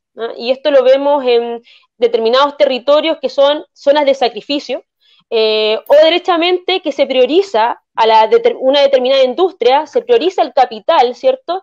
Eh, y no, en este, caso, en este caso, una población. El ejemplo más claro que hay una lucha ahí importante que tiene que ver con transformaciones profundas a, nuestro sistema, que es el tema del agua, en Petorca, Cabildo, etcétera, y en otros lugares de, también de Chile que se da esa, esa situación, donde vemos que acá se garantiza en distintos niveles, sin duda constitucional, pero también reglamentario, ¿cierto?, de los gobiernos subnacionales, etcétera, eh, la, privatización del agua, ¿no? Y cómo se llega a, que esa gente consuma el agua es a través de inyección del Estado para que estén camiones aljibe, lleguen a través de un privado que se llama ESBAL. y así nuevamente nos vemos nos vemos en este círculo vicioso, por tanto, cuando yo hablo que el Estado tiene que hacerse, en mi primera intervención, tiene que hacerse garante porque hay una omisión del privado, porque hoy día tenemos un, privado impotente de darle solución a la gente, que no le ha dado solución a la gente, como se nos dijo en un momento que este libre mercado iba a ser como la gran solución a, los problemas y salir de la pobreza. Es todo lo contrario, hoy día este, este modelo nos empobrece. Es cosa de ver las cifras en materia de desempleo, en materia de algunas regiones que son tiene una riqueza importante como la región de Valparaíso, que tiene puerto, agricultura, minería, etcétera, y las cifras son brutales en términos de desempleo. Entonces, este modelo hoy día no nos garantiza una, una, situación de mejora para salir de la pobreza, como se nos indicaba, y sobre todo en los, en los 90, y ahí comparto también el diagnóstico que se da de, los 90, eh, hoy nos empobrece. Eh, por tanto, el Estado ahí tiene que cumplir un rol de intervenir pero no con la actual intervención que tiene, que es subsidiar e inyectar recursos al privado para que garantice determinados servicios, sino que un rol más activo de conducir, ¿cierto? De conducir el desarrollo país o el desarrollo región de determinadas acciones y no así por omisión que lo hagan los privados. El ejemplo para mí más claro de, que tiene que ver con economías, eh, una economía dura y eh, muy, muy dura, que tiene que ver con los puertos. En la región de Valparaíso, no existe una política de conexión o de vinculación con los determinados puertos, con los puertos más grandes, Valparaíso y San Antonio, que, tienen eh, movilidad importante ahí, Hassan lo debe entender mejor que yo, ¿no? No hay una interacción, no hay una interacción país de cómo entender eh, la temática puerto, sino los que relacionan eso es EPB, con TPS y las determinadas empresas grandes del de, eh, mundo pues, eh, del, mundo empresarial del puerto y que nos dicen cómo Chile va a progresar en, en, determinadas acciones que puede hacer los puertos de Chile. Y, y, ahí me voy a otro punto que tiene que ver con el desafío para una constituyente. Eh, que tiene que ver con, la, con lo que, todo lo que hemos hablado acá, pero con la desigualdad tremenda que vive nuestro país, pero que cada vez cuando nos vamos eh, alejando, ¿no? Alejando de, de, donde está situado el poder y está situada la economía, no solamente porque nos digan que Santiago es la capital, sino que porque ahí en Santiago está el Producto Interno Bruto, está eh, en este caso, eh, estoy hablando de dónde están situadas incluso la empresa, ¿ah? porque sabemos que el extractivismo está en, la, está en las regiones, es cosa de ver Temuco, es cosa de ver la Araucanía, es cosa de ver la región de Valparaíso, que están todos en Santiago la, la, empresa ahí, pero las, los territorios, y ya hablo del sujeto relevante de los territorios, está eh, está con grandes problemas em, de, intervención que le hizo ese privado ahí, problemas medioambientales, problemas de pobreza, etcétera, pero que no tienen ningún tipo de compensación. Y ahí hay una, patita que yo creo que ahí tenemos que transformar el Estado de cómo dialoga con los territorios eh, y, con la, y, con la geografía de Chile recordar que Chile está dividido geopolíticamente desde la dictadura, entonces tiene estrategias de seguridad, no de desarrollo económico social, como se hizo antes de la dictadura, que sí tenía una lógica de cómo se lo ha hecho Corfo, es muy interesante también verlo cómo, cómo se, distribuyó previamente ¿no? Eh, a la dictadura. Entonces, ahí yo creo que se da una temática importante para pensar un Chile distinto en materia de descentralización geopolíticamente, ¿no? Eh, en materia de desarrollo eh, económico y social, creo que estos son, van de la mano, y que este sujeto que hoy día estaba y está silenciado, y que yo creo que hoy día a través de, la, de, esta aldea global, ¿no? Eh, y, en términos nacionales lo digo, podemos ver las dificultades que hay en territorio. O sea, yo creo que si hubiéramos estado en los 70 o los 80, eh, no conoceríamos lo que pasa en Petorca, Cabildo, ¿ah? o lo que pasa en Quintero, Puchuncaví. Yo creo que hoy día esta situación de la conectividad hace ver que hoy día esté más cerca los problemas, pero que no se hacen vinculantes para el Estado de Chile porque el Estado de Chile no está interviniendo en esos espacios, sino que el privado. Y ahora sí que termino con, con esto, por tanto, raya para la suma. Necesitamos un un Estado, y en este caso una, constitución, eh, que dé derechos sociales eh, en todas sus dimensiones, también que tenga una protección importante en materia de, no solamente de habitar, sino que, sino que vivir, sino que habitar con todo lo que es el medio ambiente, que tiene que ver mucho con, la, con el extractivismo que tenemos en determinadas zonas y cómo también las comunidades viven ahí. Y en, segundo, y en tercer lugar, eh, creo que debemos pensar que Chile necesita una descentralización fiscal urgente.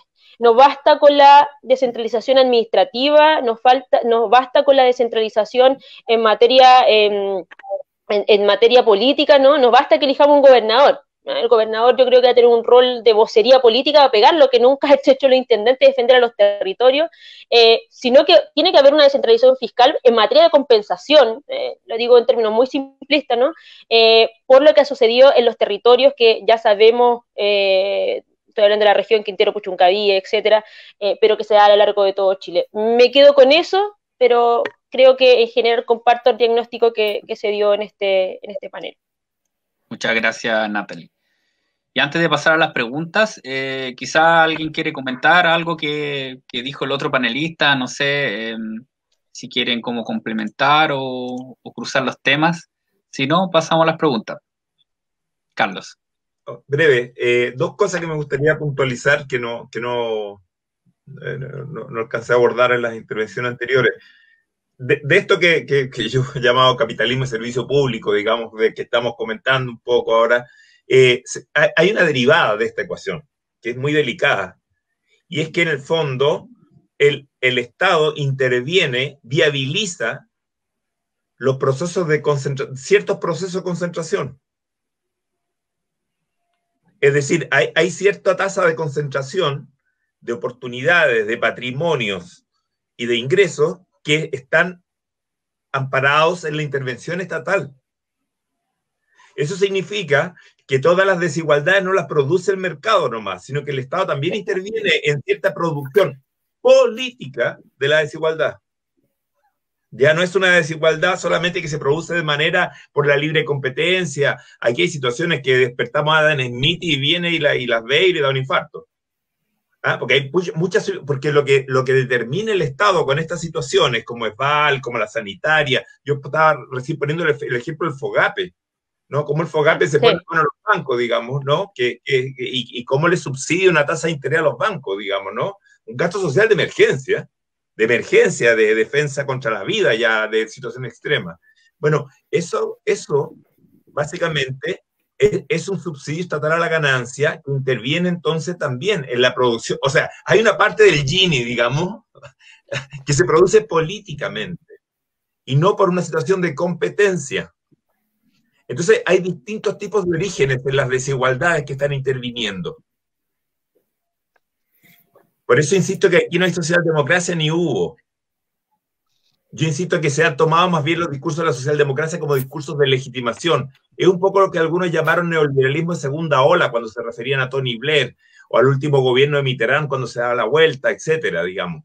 Es un neoliberalismo de segunda ola que no es el neoliberalismo más violentista, nacionalista, y, armamentista de, la Thatcher o de Reagan, digamos, sino que es este de, de Clinton, etcétera, que, que, pero entonces, ante esa situación y, ante esta producción, insisto, política de las desigualdades, que, eh, creo que es uno de los, motivos que más moviliza eh, y explota en, el malestar de la población, porque a la población se le vende un discurso del emprendimiento, de la igualdad de oportunidades, etcétera. Y después lo que se confronta es con esto, sencillamente, ¿no? Por eso insisto que hay una oligarquía de la transición del sí al no, ante el cual se, se revela este pueblo, o sea, se, se reconstruye esta idea de, esta oposición oligarquía-pueblo, digamos, oligarquía como poder de poco, en, en, una especie de, de, de casta que, que, transita entre las grandes empresas privadas beneficiadas por el Estado. Hace poco se recuerdan cuando, cuando se crea la crisis sanitaria en Osorno, ¿no? Y Osorno se queda sin agua y tiene que salir a responder ¿ah? Eh, a nombre de la empresa sanitaria privada se había ganado la concesión, pues ya no se dice privatización porque el lenguaje, comillas, socialdemócrata del progresismo ya es un garabato dictatorial. Entonces, ¿quién aparece? ¿Ah? Aparece una figura que era el subsecretario que generó las concesiones de esas eh, eh, sanitarias, sencillamente. Entonces, yo pregunto, ante ese subsecretario que ahora encabeza la concesión privada, ¿quién es él, el Estado o el mercado? Es las dos cosas a la vez Es, es una colonización empresarial del Estado gigantesca. Entonces aquí voy al segundo punto, que me parece que si vamos a una situación constituyente tenemos que entender que vamos a una relación de fuerza. Y esto me interesa, ojalá que lo vamos a tomar en el Frente Amplio, porque aquí vamos a tener que entrar también con algún mapa estratégico de conflicto. No vamos a producir todas esas transformaciones que aquí estamos mencionando. De la noche a la mañana no vamos a desmantelar este neoliberalismo, nos va a tomar posiblemente varios años. Entonces tenemos que empezar a, ver qué, por qué, con qué cerrojos partimos, digamos, y concentramos la fuerza, la capacidad que tenemos de enfrentarnos. Eh, por ejemplo, eh, Hassan mencionaba, o sea, por ejemplo, el tipo de autonomización que existe el Banco Central, o sea, yo, eh, está en discusión en muchos lados, Economist ha escrito, el, propio Financial Times ha escrito sobre ese tipo de cosas, son debates que en Chile están prohibidísimos, sencillamente, y te naturalizan ciertos marcos de, de, de, de autonomización de esferas estatales que son, que están en el fondo blindadas del escrutinio ciudadano, hay una especie de desciudadanización de ese tipo de instancias que tienen un manejo orgánico con el, el, sobre todo el gran empresariado, eh, que, si no logramos intervenir, básicamente todo esto va a quedar sencillamente en discurso. Entonces, claro, el Estado que no solamente sea pasivo, sino que sea activo arriba de estas situaciones, pero con un banco, con un Ministerio de Hacienda que no puede tocar, por ejemplo, aquellas esferas donde funcionan los bancos centrales, que te imponen ciertos equilibrios, que son los equilibrios que favorecen a ciertos sectores, no a todos, sencillamente. O sea, ahí hay una confusión de intencionada de estas élites tecnocráticas que aparecen como expertos, en el fondo de trocar ciertos intereses particulares y presentarlos como interés general, por ponerlo en, la vieja, en el viejo título Keynes, digamos, ¿no? Entonces te, trocan intereses particulares en interés general sencillamente y te naturalizan esos intereses desde ciertas esferas estatales que son absolutamente intocables. Intocables. Incluso tú puedes ganar la presidencia. A veces se discute en el Frente Amplio, ¿cómo vamos a ser gobierno? Y entonces cuando seamos gobierno vamos a descubrir que había ciertas esferas estatales que no podíamos tocar. Sencillamente. Entonces, eh, aquí es donde tenemos que empezar a afinar estrategias, digamos, porque, insisto, todo esto no lo vamos a desmontar de la noche a la mañana. Muchas gracias, Carlos. Eh, vamos, no, sé si quieren complementar algo, si no vamos a las preguntas. Ya. Eh, Creo que Lucas está ahí en los controles para que seleccione alguna pregunta. Pregunta de Camilo Nicolini para Hassan. ¿Cómo entonces se podría poner atajo al empresariado frente a su amenaza de sacar el dinero inversión del país, cuando desde el Estado quiere regular y planificar la economía? ¿Cómo se podría disciplinar a la burguesía, como dijiste, sin que se espanten y saquen el dinero del país o derechamente inicien una contraofensiva político-militar? Pregunta potente. Em, la globalización hace más difícil eh, disciplinar a la burguesía. Eso fue al final la lección que uno puede sacar de las derrotas de las verdaderas socialdemocracias, que enfrentaron sus intentos de... vieron enfrentados sus intentos de regular a, los grandes empresarios con masivas fugas de capitales. Eso es cierto y que generó eh, grandes problemas en, en los 80. Sin embargo, hay, cosas que nos favorecen en el nuevo contexto. Em, primero, lo que es más líquido es el dinero, es el sector financiero, pero las relaciones de producción no son tan líquidas. Entonces, una cosa es decir, yo voy a sacar mis dólares del país. Eso se puede hacer en un segundo, pero si yo tengo una mina, no se puede sacar la mina de cobre y ponerlo en Nueva York. Entonces, e, es un mito que es tan fácil para los empresarios sacar, eh, eh, eh, sacar sus activos. Yo viví varios años en Venezuela, yo estuve en el, primer gobierno de Chávez cuando estaban negociando con las grandes transnacionales. Y digamos que Chávez no fue un gobernante muy amigable con las transnacionales. Se quedaron igual. Acordemos que Salvador Allende, que también un ejemplo de, un gobernante que no fue exactamente procapitalista ni pro-transnacional. La inversión extranjera durante la Unidad Popular aumentó por supuesto que Anaconda y Cone son las dos empresas eh, dueñas de la gran minería en Chile, se fueron bastante enojados, pero aumentó la inversión extranjera directa de Japón, de eh, Europa Occidental, pero además de Estados Unidos en todos los sectores no de recursos naturales. yo diría que incluso los empresarios internacionales son mucho más pragmáticos que, que los locales. Porque al final, ¿qué le importa a una transnacional que tiene um, 5% de su negocio en Chile si el gobierno está aumentando un poquitito uh, los impuestos? Le importa mucho a los empresarios locales porque Chile es todo su negocio. El tema para Anaconda y Kennecott es que Chile fue todo su negocio también y por eso entraron en una pelea hasta la muerte con el gobierno de Allende. Pero cuando hablamos de las grandes transnacionales, su, su necesidad no es tan grande y su deseo de sacar la, plata no es tan fácil tampoco. Entonces, hay espacio ahí. Hay cosas concretas, técnicas que se pueden hacer. Se pueden poner controles de capital que dificulta la entrada de, dinero. Y cuando uno tiene dinero como más, más controlado, lo que uno hace es cambiar el perfil de la inversión para que no sea un perfil tan especulativo, donde los recursos que son más fáciles de eh, sacar no entran tanto. Entonces ahí se reduce la vulnerabilidad de la economía en términos financieros. Después, en términos de la inversión, yo creo que estamos en un momento único. Sí. Eh, la, propia concertación eh, eliminó las tasas de encaje. Sí, exactamente. Y curiosamente, el Banco, eh, el Fondo Monetario Internacional, otra organización conocida por ser comunista, dice que las tasas de encaje eran una buena política pública y la concertación lo eliminó contra las recomendaciones de instituciones financieras tan ortodoxas. Ya es parte de, eso del neoliberalismo con rostro humano donde socialdemocracia no, no, no, había nunca. Pero se puede volver a eso, se puede poner las tasas de encaje de, de vuelta, se puede empezar a regular el sistema financiero sin llegar a crear ningún tipo de colapso. En eso, además, ¿qué pasa entonces con las transnacionales? No se van a espantar. Los que van a espantar son los, eh, la raíne eh, y los mate, porque Chile es su feudo. Y de hecho, lo que les importa no es tanto el tema del, em, de sus utilidades, es su poder político. Las transnacionales son mucho más racionales porque invierten donde pueden más generar eh, recursos el, inversionista local hace un juego mucho más político, es un grupo chiquitito y mucho más difícil para cualquier gobierno de Frente Amplio. Enfrentar al empresariado nacional va a ser un tema. Pero estamos en un contexto nuevo, donde tenemos primero un gobierno, perdón, un mundo económicamente hablando multipolar. Cuando antes tuvimos solamente la dominancia de Estados Unidos, fue muy difícil para cualquier gobierno porque fue el único, ah, el único poder hegemónico y uno tiene que aceptar sus reglas. Pero en una situación de guerra comercial, donde son dos poderes hegemónicos. Yo no digo que los chinos son unas blancas palomas.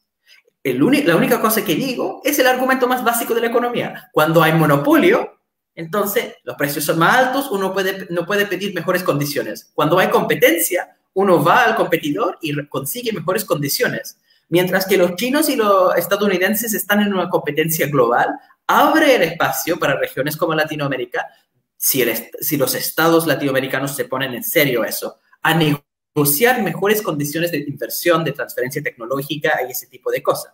Al final no hay problema con que llegue inversión de afuera. Lo importante es que viene con capacidad tecnológica para subir y transformar el nivel de la matriz productiva. La, la, la estructura productiva de este país tiene un muy bajo nivel tecnológico, es muy poco diversificado puede llegar recursos, uh, inversión extranjera que puede ayudar con eso, con subir el nivel tecnológico, con diversificar el, el, tipo de actividades que estamos haciendo. Pero eso no va a pasar automáticamente por la magia del mercado. Eso solamente pasa si uno tiene un Estado que es capaz de negociar con esos poderes. Y lo bueno ahí es precisamente por este nuevo contexto de guerra comercial, el Estado tiene más capacidad para negociar con esos poderes que nunca antes. Y en eso yo, yo quería decir un, par de cosas más cortitos, que yo estaba pensando en ese tema de, de, cómo el Estado uh, ha, lo, ha, efectivamente ayudado, generado desigualdades por su forma de, de fusionar con, uh, con, el, uh, con, el, poder privado. Yo, yo me acordé del libro de Hernán Vigi, si alguien se acuerda de Hernán Vigi, que escribió en este del, del, de la transformación económica de Chile. Y hay un, una, una parte donde se, se, dice, me criticaron tanto porque en Chile se estaba generando estos grandes grupos económicos que además tenían un banco adentro que prestaba plata a todas las demás empresas relacionadas. Y eso fue como un gran, uh, un gran entramado súper inestable que colapsó en 82-83. Luego lo reconstruyeron como con, con uh, fundamentos financieros un poco más sólidos. Pero Vigi dijo, pero ¿por qué es un problema? Que tenemos estos grandes grupos que controlan todo. Si pasa lo mismo con los grandes grupos oligopólicos en Japón y Francia. lo nombran. Y esos son países que son antineoliberales, donde el Estado tiene una participación en las grandes empresas y tiene un rol de regular esos poderes económicos mucho más fuerte. El problema de Chile de la inestabilidad de este tipo de lo que llaman crony capitalism, el capitalismo de los amigos, donde no hay competencia porque uno depende del Estado eh, para tener una serie de protecciones y ayudas, ese tipo de cosas es, ineficiente, pero es producto de tener un Estado en ese sentido colonizado por el poder eh, empresarial. Y separar eso es la tarea, yo creo que del, Frente Amplio. Y hay razones geopolíticas ah, para pensar que es posible, pero que obviamente no va a ser fácil. Y yo en eso quiero mencionar una cosa del debate constitucional. No vamos a terminar con el neoliberalismo a través de una nueva constitución. Imposible. No vamos ni siquiera a conseguir derechos sociales con una nueva constitución. La única cosa, en mi opinión por lo menos, que se consigue con una nueva constitución es democracia. Constituciones no hacen países. Yo soy, soy de la opinión que debemos tener una constitución mínima. Idealmente que saquemos casi todas las cosas de la constitución. Porque la forma de crear derechos sociales es a través de leyes ordinarias en un debate democrático para determinar los distintos cambios. Si queremos tener eh, pensiones decentes, y podemos tener un debate acerca de pensiones sin tener que ver el Tribunal Constitucional velando por encima, sin tener las cortes de, eh, de los tratados de libre eh, comercio supervisando toda la política local. Entonces, para mí, la, lucha de la Constitución es para liberarnos de todas esas estructuras, hacer la eh, Constitución lo más cortito posible, más cortita posible, y después de eso empezar a reconstruir nuevo modelo. Muchas gracias, Hassan. Una nueva pregunta. Una pregunta de Dani GE. Para disputar la correlación de fuerza en la construcción del Chile post-neoliberal se requiere unidad de la izquierda. ¿Qué tan factible ven la construcción de un nuevo pacto político-social transformador que agrupe a la izquierda y de, un, una orgánica al descontento post-estallido? Pregunta más política en esta pasada. Eh, no sé quién quiere responderla. puedo agregar algo. Carlos, la Nati, no sé. O, aprovechar de, para también ir en el hilo que estamos conversando, que creo que ha sido bastante interesante. Eh, eh, yo creo que tenemos delante una coyuntura constitucional que, bueno, eh, va a haber que estarla presionando porque el, gobierno, eh, el otro día conversaba con, compañeras y compañeros de, una radio popular en, Concepción, decían, bueno, ¿qué garantías hay de esto? Digamos, no nos van a dar garantías de nada, todas las garantías se obtienen, o sea, me parece que la pregunta está muy bien planteada, o sea, que hay un problema de correlaciones de fuerza. Entonces, no es solamente la cantidad de ideas que podemos inventar, sino que cómo vamos a ir eh, buscando dentro de una estrategia, centrando ciertos puntos para poder ir por, más, digamos, sencillamente. Y en ese sentido, todo no lo va a resolver mecánicamente una situación constituyente. Estoy absolutamente de acuerdo. Quería poner un ejemplo nomás, ahora vamos a poner al revés, ¿ah? del lado de complicar las cosas, no, tanto de, que sigamos, porque estamos en esta especie de brainstorm, digamos, eh, a ver, ustedes tienen el senador ahí eh, en la región, Natalie, a Lagos Weber, que ha sido uno de los, de los, de los que eh, intervino en todos los tipos de términos en que Chile firmó Tratado de Libre Comercio. Así Y muchas de las cuestiones que estamos recién hablando, por ejemplo, ahora recién con Hassan y otras cosas, están de alguna manera constreñidas por los términos en que Chile firmó esos tratados. ¿Ah? Eh, y, y, desarmar algunos de esos cerrojos es bastante complicado. O sea, tiene, tiene una serie de candados esto. O sea, puesto en otra jerga, digamos, la forma de inserción de la economía local en el proceso de globalización ha sido condicionada por una serie de elementos y va encima bajo, bajo discurso de legitimación socialdemócrata. ¿Ah? Es decir, como encima con edulcolorante, digamos, con NutraSuite. Entonces, eh, eh, y, lo que terminan es generando condiciones privilegiadas para ese tipo de rentismo de primario exportador, digamos, ¿no? Que además ya está agotado, estoy de acuerdo, en términos de las tasas de crecimiento y expansión que tuvo en los años 90, que ya no logra eh, estimular el, problema de la contracción de la tasa, de, por ejemplo, la productividad del trabajo, etc. Tiene una serie de elementos que ni ellos mismos pueden volver esa tasa de crecimiento. Están compelidas a una discusión de, volver. El ingreso de capitales más especulativos, de controlarlos con ciertos impuestos si se van antes de, tanto tiempo, por ejemplo, que es lo que hablamos de las tasas de encaje, etcétera. Ah, pero claro, eh, no puedes intervenir ante las instituciones que pueden tomar esas decisiones. todo ese tipo de elementos tienen una serie de cerrojos, me refiero. Este, es un sistema sumamente complejo. Y por otro lado, también, ojo, eh, yo decía, cuando tú tienes una cosa como el POGAPE, ¿no? Que tú generas un presupuesto para, para, para, buscar en el fondo que no se interrumpan las cadenas de pago en la pequeña y mediana empresa, que generalmente es donde más se, se expande una fuerza laboral precaria, eh, donde, no se, donde si no generas un cierto ingreso no se van a poder cumplir las medidas sanitarias, pero después se lo das a la, sencillamente a la, a la banca privada. Eh, yo, yo leí un poco cómo revisaban y efectivamente, este, este, Estado ha sido en ese sentido tan desmantelado de brazos, tan amputado, que ya no tiene muchas veces incluso las estructuras para llegar con, ese tipo de, de distributismo, sencillamente. O sea, es un Estado amputado. Entonces, eso también genera otro dilema de cómo vamos a partir. O sea, no es llegar y decir ahora, como estoy de acuerdo, no es llegar y decir ahora derechos sociales universales, ya, toma, y después te vas para la casa con un cartel que es vacío. ¿Qué es vacío? Llegas a tu casa, lo enmarcas, lo pones y, eso no te va a dar nada. No te cambió sustantivamente nada porque el Estado está desarticulado. Entonces, claro, por supuesto, eso tiene derivadas de descentralización de una serie de elementos. Y aquí es donde yo insisto que una fuerza política emergente no puede quedar atrapada en los términos en que se generó la formación de la oligarquía de la transición. Eso es muy importante. O sea, si vamos a ir detrás de la concertación, si vamos a ir detrás de esta gente que firmó esos tratados de libre comercio, eso es lo que quiero decir, no vamos a llegar ni a la esquina en términos de capacidad de transformación. Porque probablemente desmantelar todo esto nos pueda tomar cuatro, cinco, seis, siete años, sencillamente. Y si no avanzamos desde, desde, ese punto de vista con una especie de plan estratégico, no vamos a entrarle a esta cuestión. Vamos a rebotar sencillamente con un montón de eslóganes. Entonces, ¿qué es lo que pasa? A mí me parece que es delicado reducir la, forma en que nos vamos a proyectar a la situación constituyente a un puro universo electoral de cuentas sencillas y planillas Excel, de, de, de, de, dónde vamos a sacar más votos, menos votos, etcétera, etcétera, y, y no carente de un plan, eh, insisto, relativamente estratégico de cómo empezar a desmontar los cerrojos con que esta gente eh, eh, tiene prácticamente protegido el sufragio ciudadano. Muchas de las instituciones que intervienen de manera decisiva en el modelo de crecimiento y en el carácter que adopta ese crecimiento. Sobre todo la, la, bancarización forzada, la financiarización, etc. Muchas gracias, Carlos. Ah, bueno, dale, Nati.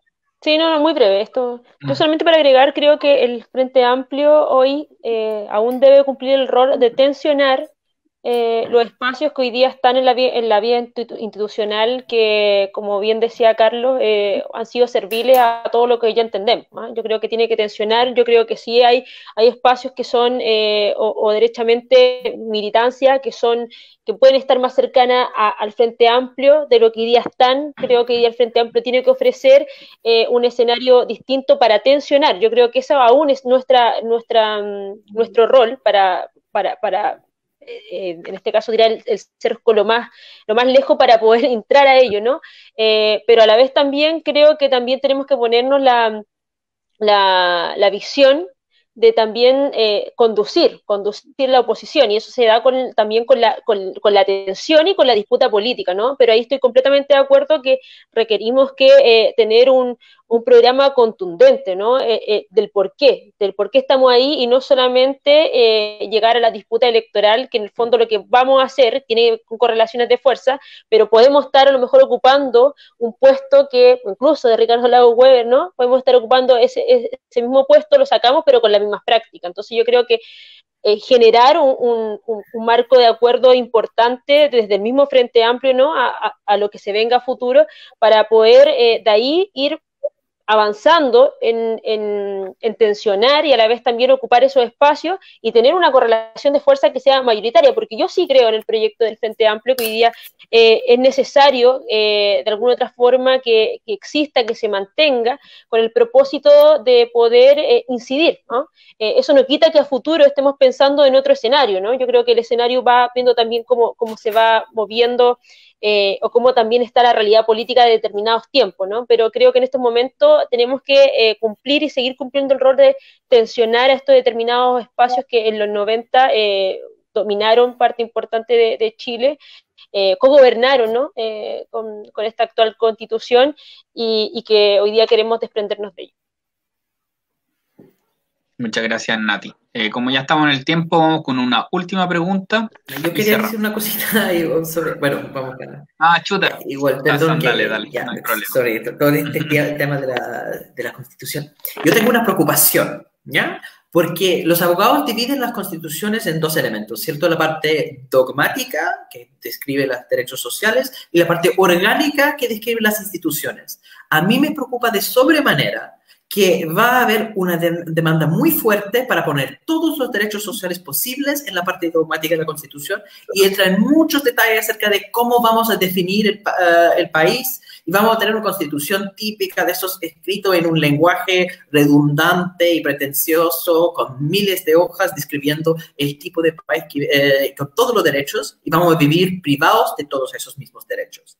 Yo creo que casi debemos ignorar la parte dogmática de la Constitución y ver exclusivamente en la parte, em, en la parte eh, orgánica institucional, porque ahí están definidos específicamente los cerrojos que queremos eh, efectivamente eliminar. Yo diría, ¿qué, ¿cuáles son las instituciones que sí o sí hay que pitear para tener democracia en Chile, para poder avanzar?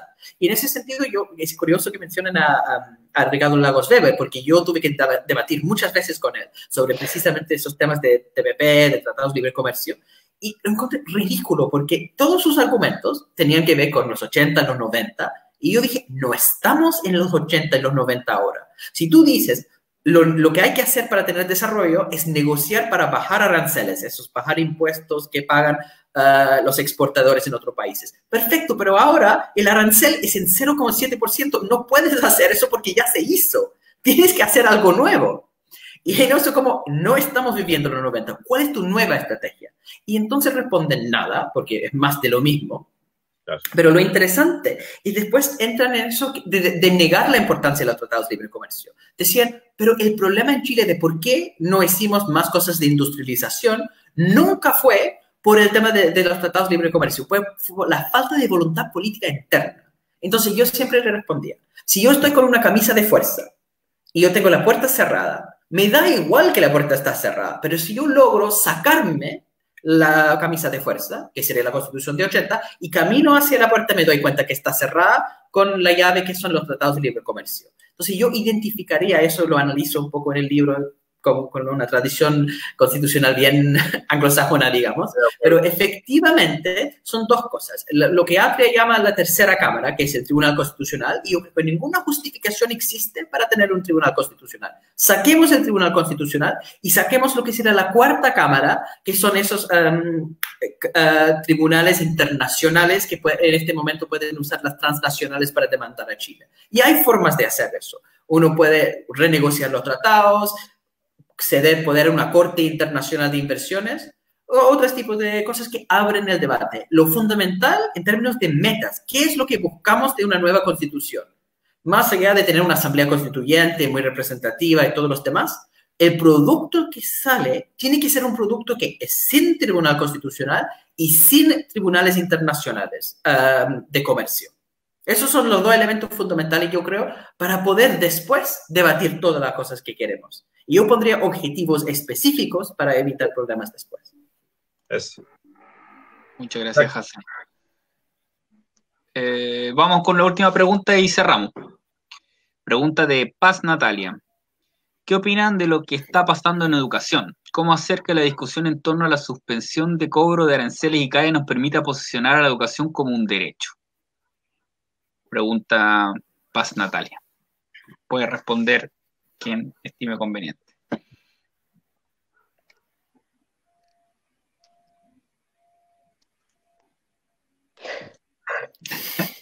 Carlos,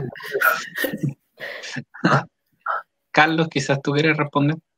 O sea, eh, yo, creo que hay que desmantelar los sistemas de financiamiento que se generaron, que tienen que ver un poco con lo que estamos hablando antes. O sea, el, en el fondo, el uso del gasto social estatal, en este caso en educación, ¿no? sea, eh, a ver, eh, eh, volvamos al 2006. ¿Ustedes se acuerdan cuando, cuando se movilizan los pingüinos en ese tiempo, ¿no? Que se armó la discusión entre libertad educación y versus derechos, ¿se acuerdan? Perfecto. El Estado no va a intervenir, dejen que exista la libertad de educación y la gente pueda elegir y haga lo que quiera. Pero ojo, no pidan que se lo banque el Estado. Sencillamente, ¿no? Que el Estado no subsidie la educación privada. Entonces, pongamos efectivamente somos la única, somos el único país en toda América Latina, en toda América Latina, por ejemplo, que no tiene una educación eh, eh, pública eh, superior gratuita. El único. Absolutamente el único. ¿Ah? Tú llegas a, a, UNAM, llegas a, la UBA, llegas a la, a la USPI en, en, San Pablo, etcétera, ¿no? A, la Universidad Central allá en, ¿no? y, y vienes de la Universidad de Chile, que es lo que pasa, y, le cuentas cuánto pagan los alumnos de la Universidad de Chile, que en ese tiempo ya le contaba, mira, pagan 400 y tantos dólares mensuales, y no lo podían creer. Y no lo podían creer. Entonces, eh, eh, eh, hay que partir por ahí, sencillamente. O sea, ese tipo de instituciones como el CAE, la otra, tiene que ser, eso sí, eso no aguanta arreglo, digamos. E, esa sería mi respuesta, digamos. Eso no aguanta arreglo, eso no aguanta cosmética posible hay que partir por primero condenando las deudas del CAE, por supuesto, cerrándolas, pero segundo, hay que desmantelar ese tipo de sistema. Y aquí vuelvo al mismo tema, reciente ponía ejemplo Lagos Weber, eh, la presidenta del consorcio de universidades privadas en Chile, que, son no las universidades tradicionales como la Católica, Concepción, la de Valdivia, etcétera, eh, eh, Pilar Manet, otra figura del PPD.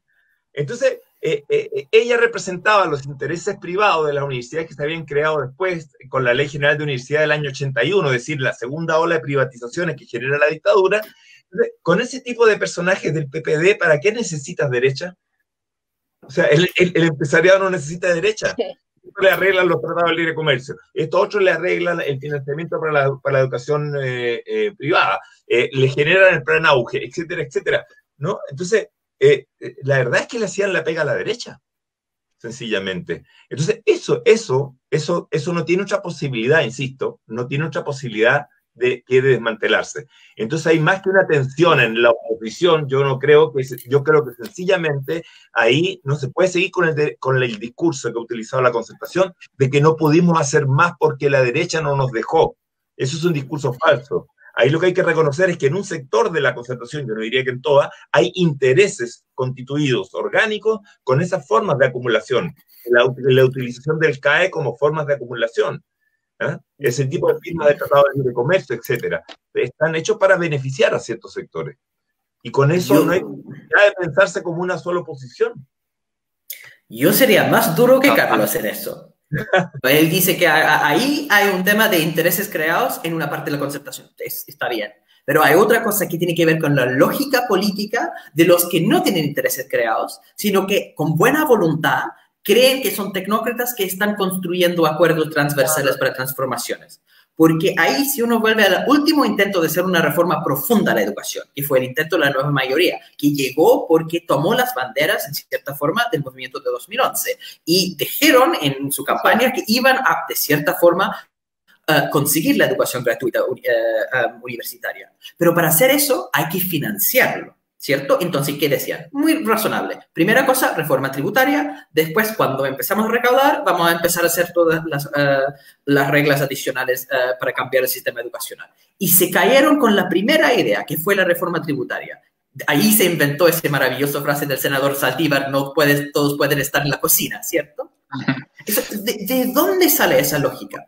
Cuando empezaron a hacer eh, el programa en el, en el comando de la Bachelet, se decidió hacerlo sin estar con los movimientos sociales. ¿ya? Lo que querían era hacerlo entre cuatro paredes, entre un grupo de expertos. Y el problema de eso es que si uno tiene solamente el acuerdo entre un grupo de expertos que después pueden ir y conversar con otro grupo de expertos de la oposición, es que grupos de expertos no pesan nada frente al poder creado, eh, de intereses creados. Entonces, encuentro una frase increíble que cito eh, cuando hago el análisis de la nueva mayoría, que se hizo para el, libro del estallido, porque me parece relevante entender que el estallido es producto del fracaso de la nueva mayoría. Y hay una frase de Eduardo Engel, ¿no? el economista, que dice, cuando están debatiendo la, la reforma tributaria.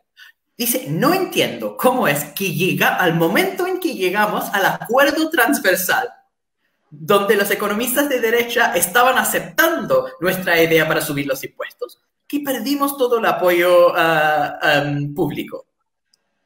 Es como no entender cómo funciona la política, que si tú gobiernas rechazando al movimiento social, entonces no vas a tener gente para defenderte. Y el hecho que tú tienes algunos economistas de derecha que apoyan tu propuesta da igual, porque los empresarios no lo van a aceptar. La elección, de hecho, de reformas eh, tributarias exitosas es el ejemplo de, eh, de, Bolivia, que lograron subir el impuesto de hidrocarburos de una forma súper importante porque tenían las calles repletas de personas exigiendo un aumento en impuestos. ¿Dónde estaban los estudiantes de 2011 cuando se estaba debatiendo la reforma tributaria. Estaban afuera del Congreso, estaban afuera de la, cocina exigiendo una reforma tributaria. No, porque no sentían que el gobierno de la, eh, de la nueva mayoría era su gobierno. No sentían que la reforma tributaria para, generar la para financiar la reforma educacional era de ellos. Entonces se cayó la idea. Si uno decide gobernar a través de acuerdos entre tecnócratas y en vez de estar con el movimiento social, nunca va a tener la fuerza de la movilización para torcer el brazo del empresariado. Y al empresariado no le interesa en lo más mínimo el acuerdo de ciertos economistas un poco más progres en la derecha. Les da igual porque el interés es lo que prima ahí. Y para cambiar intereses necesita fuerza social.